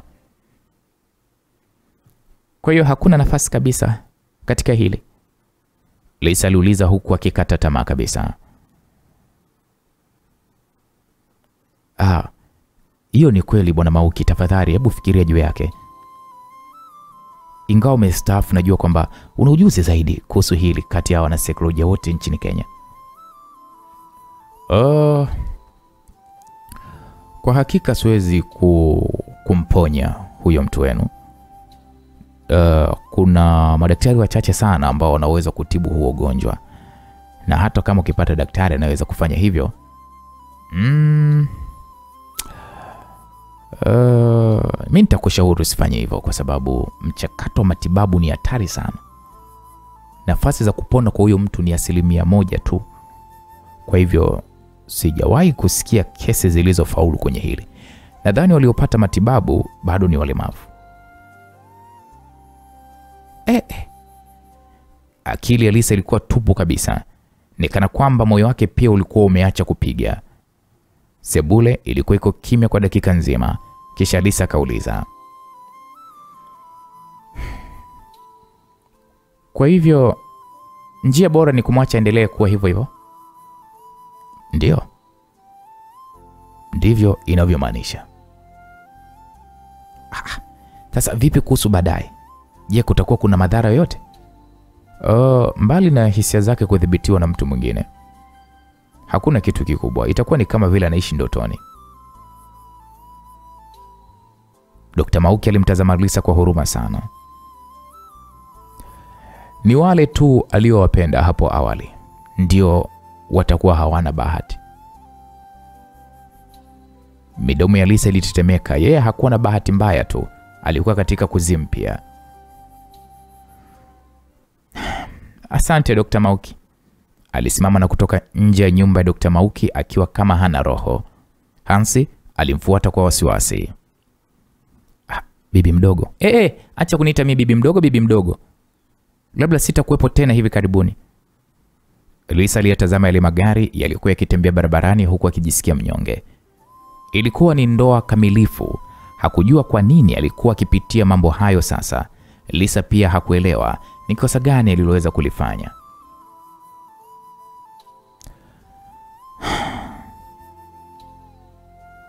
Sikuwahi kufikiria kwamba Sara angetisha sana. Bwana mkubwa, hawatarajii kama haya yanafanyika pia. Hans alisema kwa wasiwasi mno. Hans, hatuwezi kufanya lolote. ikiwa tutamshughulikia Alvin kwa nguvu, tutaweza hata kumuumiza. Mwache tu na Mungu ndiye atakayemsaidia. Lisa hata kama hakumpenda tena Alvin, lakini bado angekuwa wa kawaida kwa sehemu kubwa. Ilikuwa tu ni kwamba hisia zake zilikuwa ziko chini ya udhibiti wa mtu mwingine. Bado alikuwa ni mtu tajiri zaidi nchini Kenya ambaye kila mtu alimuheshimu. Hans akasema, sasa vipi na kuhusu wewe, ukitaka kuliachia hili? Mimi Lisa alitazama chini na kugusa tumbo lake. Hans, kama kweli unamjali Alvin, lazima unisaidie. Sara yuko tayari kumuumiza hata Alvin. Ikiwa watoto wangu wote wawili wataangukia mikononi mwake wakati ujao, bila shaka watateseka sana. Usijali bibi mdogo, ili mradi tu ni kwa manufaa ya watoto wa bwana mkubwa. Mimi nitakuunga mkono kwa nguvu zangu zote bila kujali utakachoweza kuchagua kufanya. Hansi hakuwa amemaliza kuzungumza, lakini Alvin alimpigia simu. Ulienda wapi leo? Leo ni siku ya kuzaliwa ya Sara. Nenda klabu yoyote ile maarufu, kodi ukumbi na kuupamba. Nataka kumfanyia surprise. Umesikia nilichokisema? Ah, sawa, nitaenda mara moja. Hansi alimtazama Lisa kwa huruma. Ah, bibi kijana, wewe bwana, wasikiliza, wewe kuwa upande wa Alvin na ufanye chochote anachoku- anachokuomba ufanye. Kama unataka kunisaidia, mfanye Alvin na wanafamilia wa Kimaro wafikiri ya kwamba mimba yangu imeharibika. Ni hapo tu ndipo nitakapoweza kuondoka. Unataka kuondoka? Ndiyo, hiyo ndio njia pekee kwa watoto wangu kuweza kuishi. Macho ya Lisa yalijawa na uchovu. Hansi alitikisa kichwa bila kusita. Alikuwa na deni kubwa sana kwa Alvin. Madam angeweza kuwasaidia watoto wake, alikuwa tayari kuweza kusaidia kwa njia yoyote ile ambayo yeye angeweza kufanya. Baada ya Hans kuweza kuondoka, familia Kimaro ilituma gari kuweza kumrudisha Lisa kwenye nyumba ya kifahari. Usiku akiwa amelala kwenye kitanda kikubwa kitupu, alipokea simu kutoka kwa Kelvin. Ah, Lisa, kuna kitu gani kati yako na Alvin? Nilisikia kwamba wewe ni mjamzito. Anawezaje kukufanyia hivi? Lisa alikaa kimya kwa muda na kukunja blanketi kisha akajifanya kama hakuna kitu kibaya akacheka. Umesikia nini? Ah, sikusikia chochote. Niliona kwa macho yangu mimi mwenyewe. Alvin amekodi ukumbi mzima kusherehekea siku ya kuzaliwa na Sara usiku wa leo. Aliajiri na mtu kwenda kununua mawaridi safi kabisa kutoka nje na kuajiri mpishi mkuu wa vyakula vya kizungu kutoka Dubai. Hata pia lilipua fataki kando ya bahari kwa masaa mawili mfululizo na kumzawadia jumba la kifahari la dola milioni tano, na kila mtu katika hapa Nairobi anajua kuhusu hilo. Kwa hiyo Melissa alitamka maneno hayo mawili kwa sauti kali kweli kweli. Alikuwa amejitahidi sana kupotezea mambo fulani, lakini aliposikia kwamba Alvin alikuwa akimthamini sana Sara, alihisi maumivu makali sana, kana kwamba kuna kitu kinampasua kipande kipande kwenye moyo wake. Alikuwa karibu kupandwa na ukichaa kutokana na wivu, lakini angewezaje? Yani angefanya nini sasa? Alvin alikuwa ameshalazwa akili zake, yani akili zake zimefunikwa hivi. Ah, Lisa, nilikuzuia sana wakati ule. Alisema nakupenda, lakini muda haujapita na tayari ameshakutupa wewe na mimba yako. Kelvin, usiseme tena sawa? Nimechoka, nataka kupumzika. Ah, ah, Lisa, usiogope, haijarishi nini kitatokea, mimi nitakuwa daima kuwa rafiki yako. Unaweza kunitafuta kwa msaada, na ninaendelea vizuri kwa sasa. Mimi sio yule mnyonge tena ambaye ninaweza tu kukanyagwa tu na Alvin. Kelvin alisema kwa upole. Okay, sawa, asante. Baada ya Lisa kukata simu, hakulala kwa usiku mzima.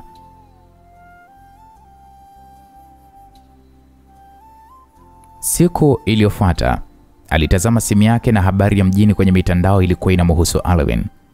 Alvin Kimaro is having an affair.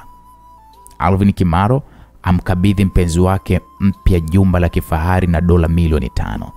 Alvin Kimaro sasa ambwaga rasmi mke wake aliyeharibika sura, aibuka na chombo safi. Alvin Kimaro alitumia usiku huo pamoja na mpenzi wake mpya hotelini. Alvin Kimaro amefanya utambulisho wa mpenzi mpya. Alvin Kimaro yeye yeye. Alvin Kimaro avunja rekodi. Alvin Kimaro lelelelelelele lelelelele. Yaani habari zilitapakaa mitandaoni. Lisa alichukua tu picha chache na kuzitazama. Picha ya Alvin akiwa amemshika Sara mkono huku akiingia kwenye jumba hilo la klabu ilizunguka sana mtandaoni. Pia kulikuwa kuna picha walipokuwa wameingia ndani ya hoteli hiyo wakiwa wamekumbatiana na video za fataki hizo za kupindukia zilikuwa zikimulika mahewani kwa mafataki mafataki anapigwa kwelikweli, ni picha zilikuwa zinang'aa. Hey. Ni balaa. Lisa afanye nini? Maskini ya Mungu, hebu tumshauri Lisa jamani. Lisa afanye nini? Eti msikilizaji, Lisa afanye nini? Nyie, hivi kweli ni Sara kweli? Hivi kweli Sara ndo yule Sara aliyokufa kweli au inakuwaje? He, mbungi bado ni nzito msikilizaji. Lisa atafanyaje? Mimi naye hatujui. Bwana, tukutane katika sehemu inayofuata, sehemu ya 21 niliyokusimulia simulizi hii. Naitwa Uncle J. Asante kwa muda wako. Tukutane katika sehemu inayofuata tuweze kujua, je, Lisa atasalenda, atanyosha mikono juu na kukimbia kurudi Dar es Salaam? Na vipi kuhusu Alvin? Na vipi, je, yule ni Sara kweli aliyekufa au tunaletewa mauzauza ambayo hatuyaelewi? Ni kusihi usikose sehemu ya 21 kupata kujua ukweli wote. Bye bye.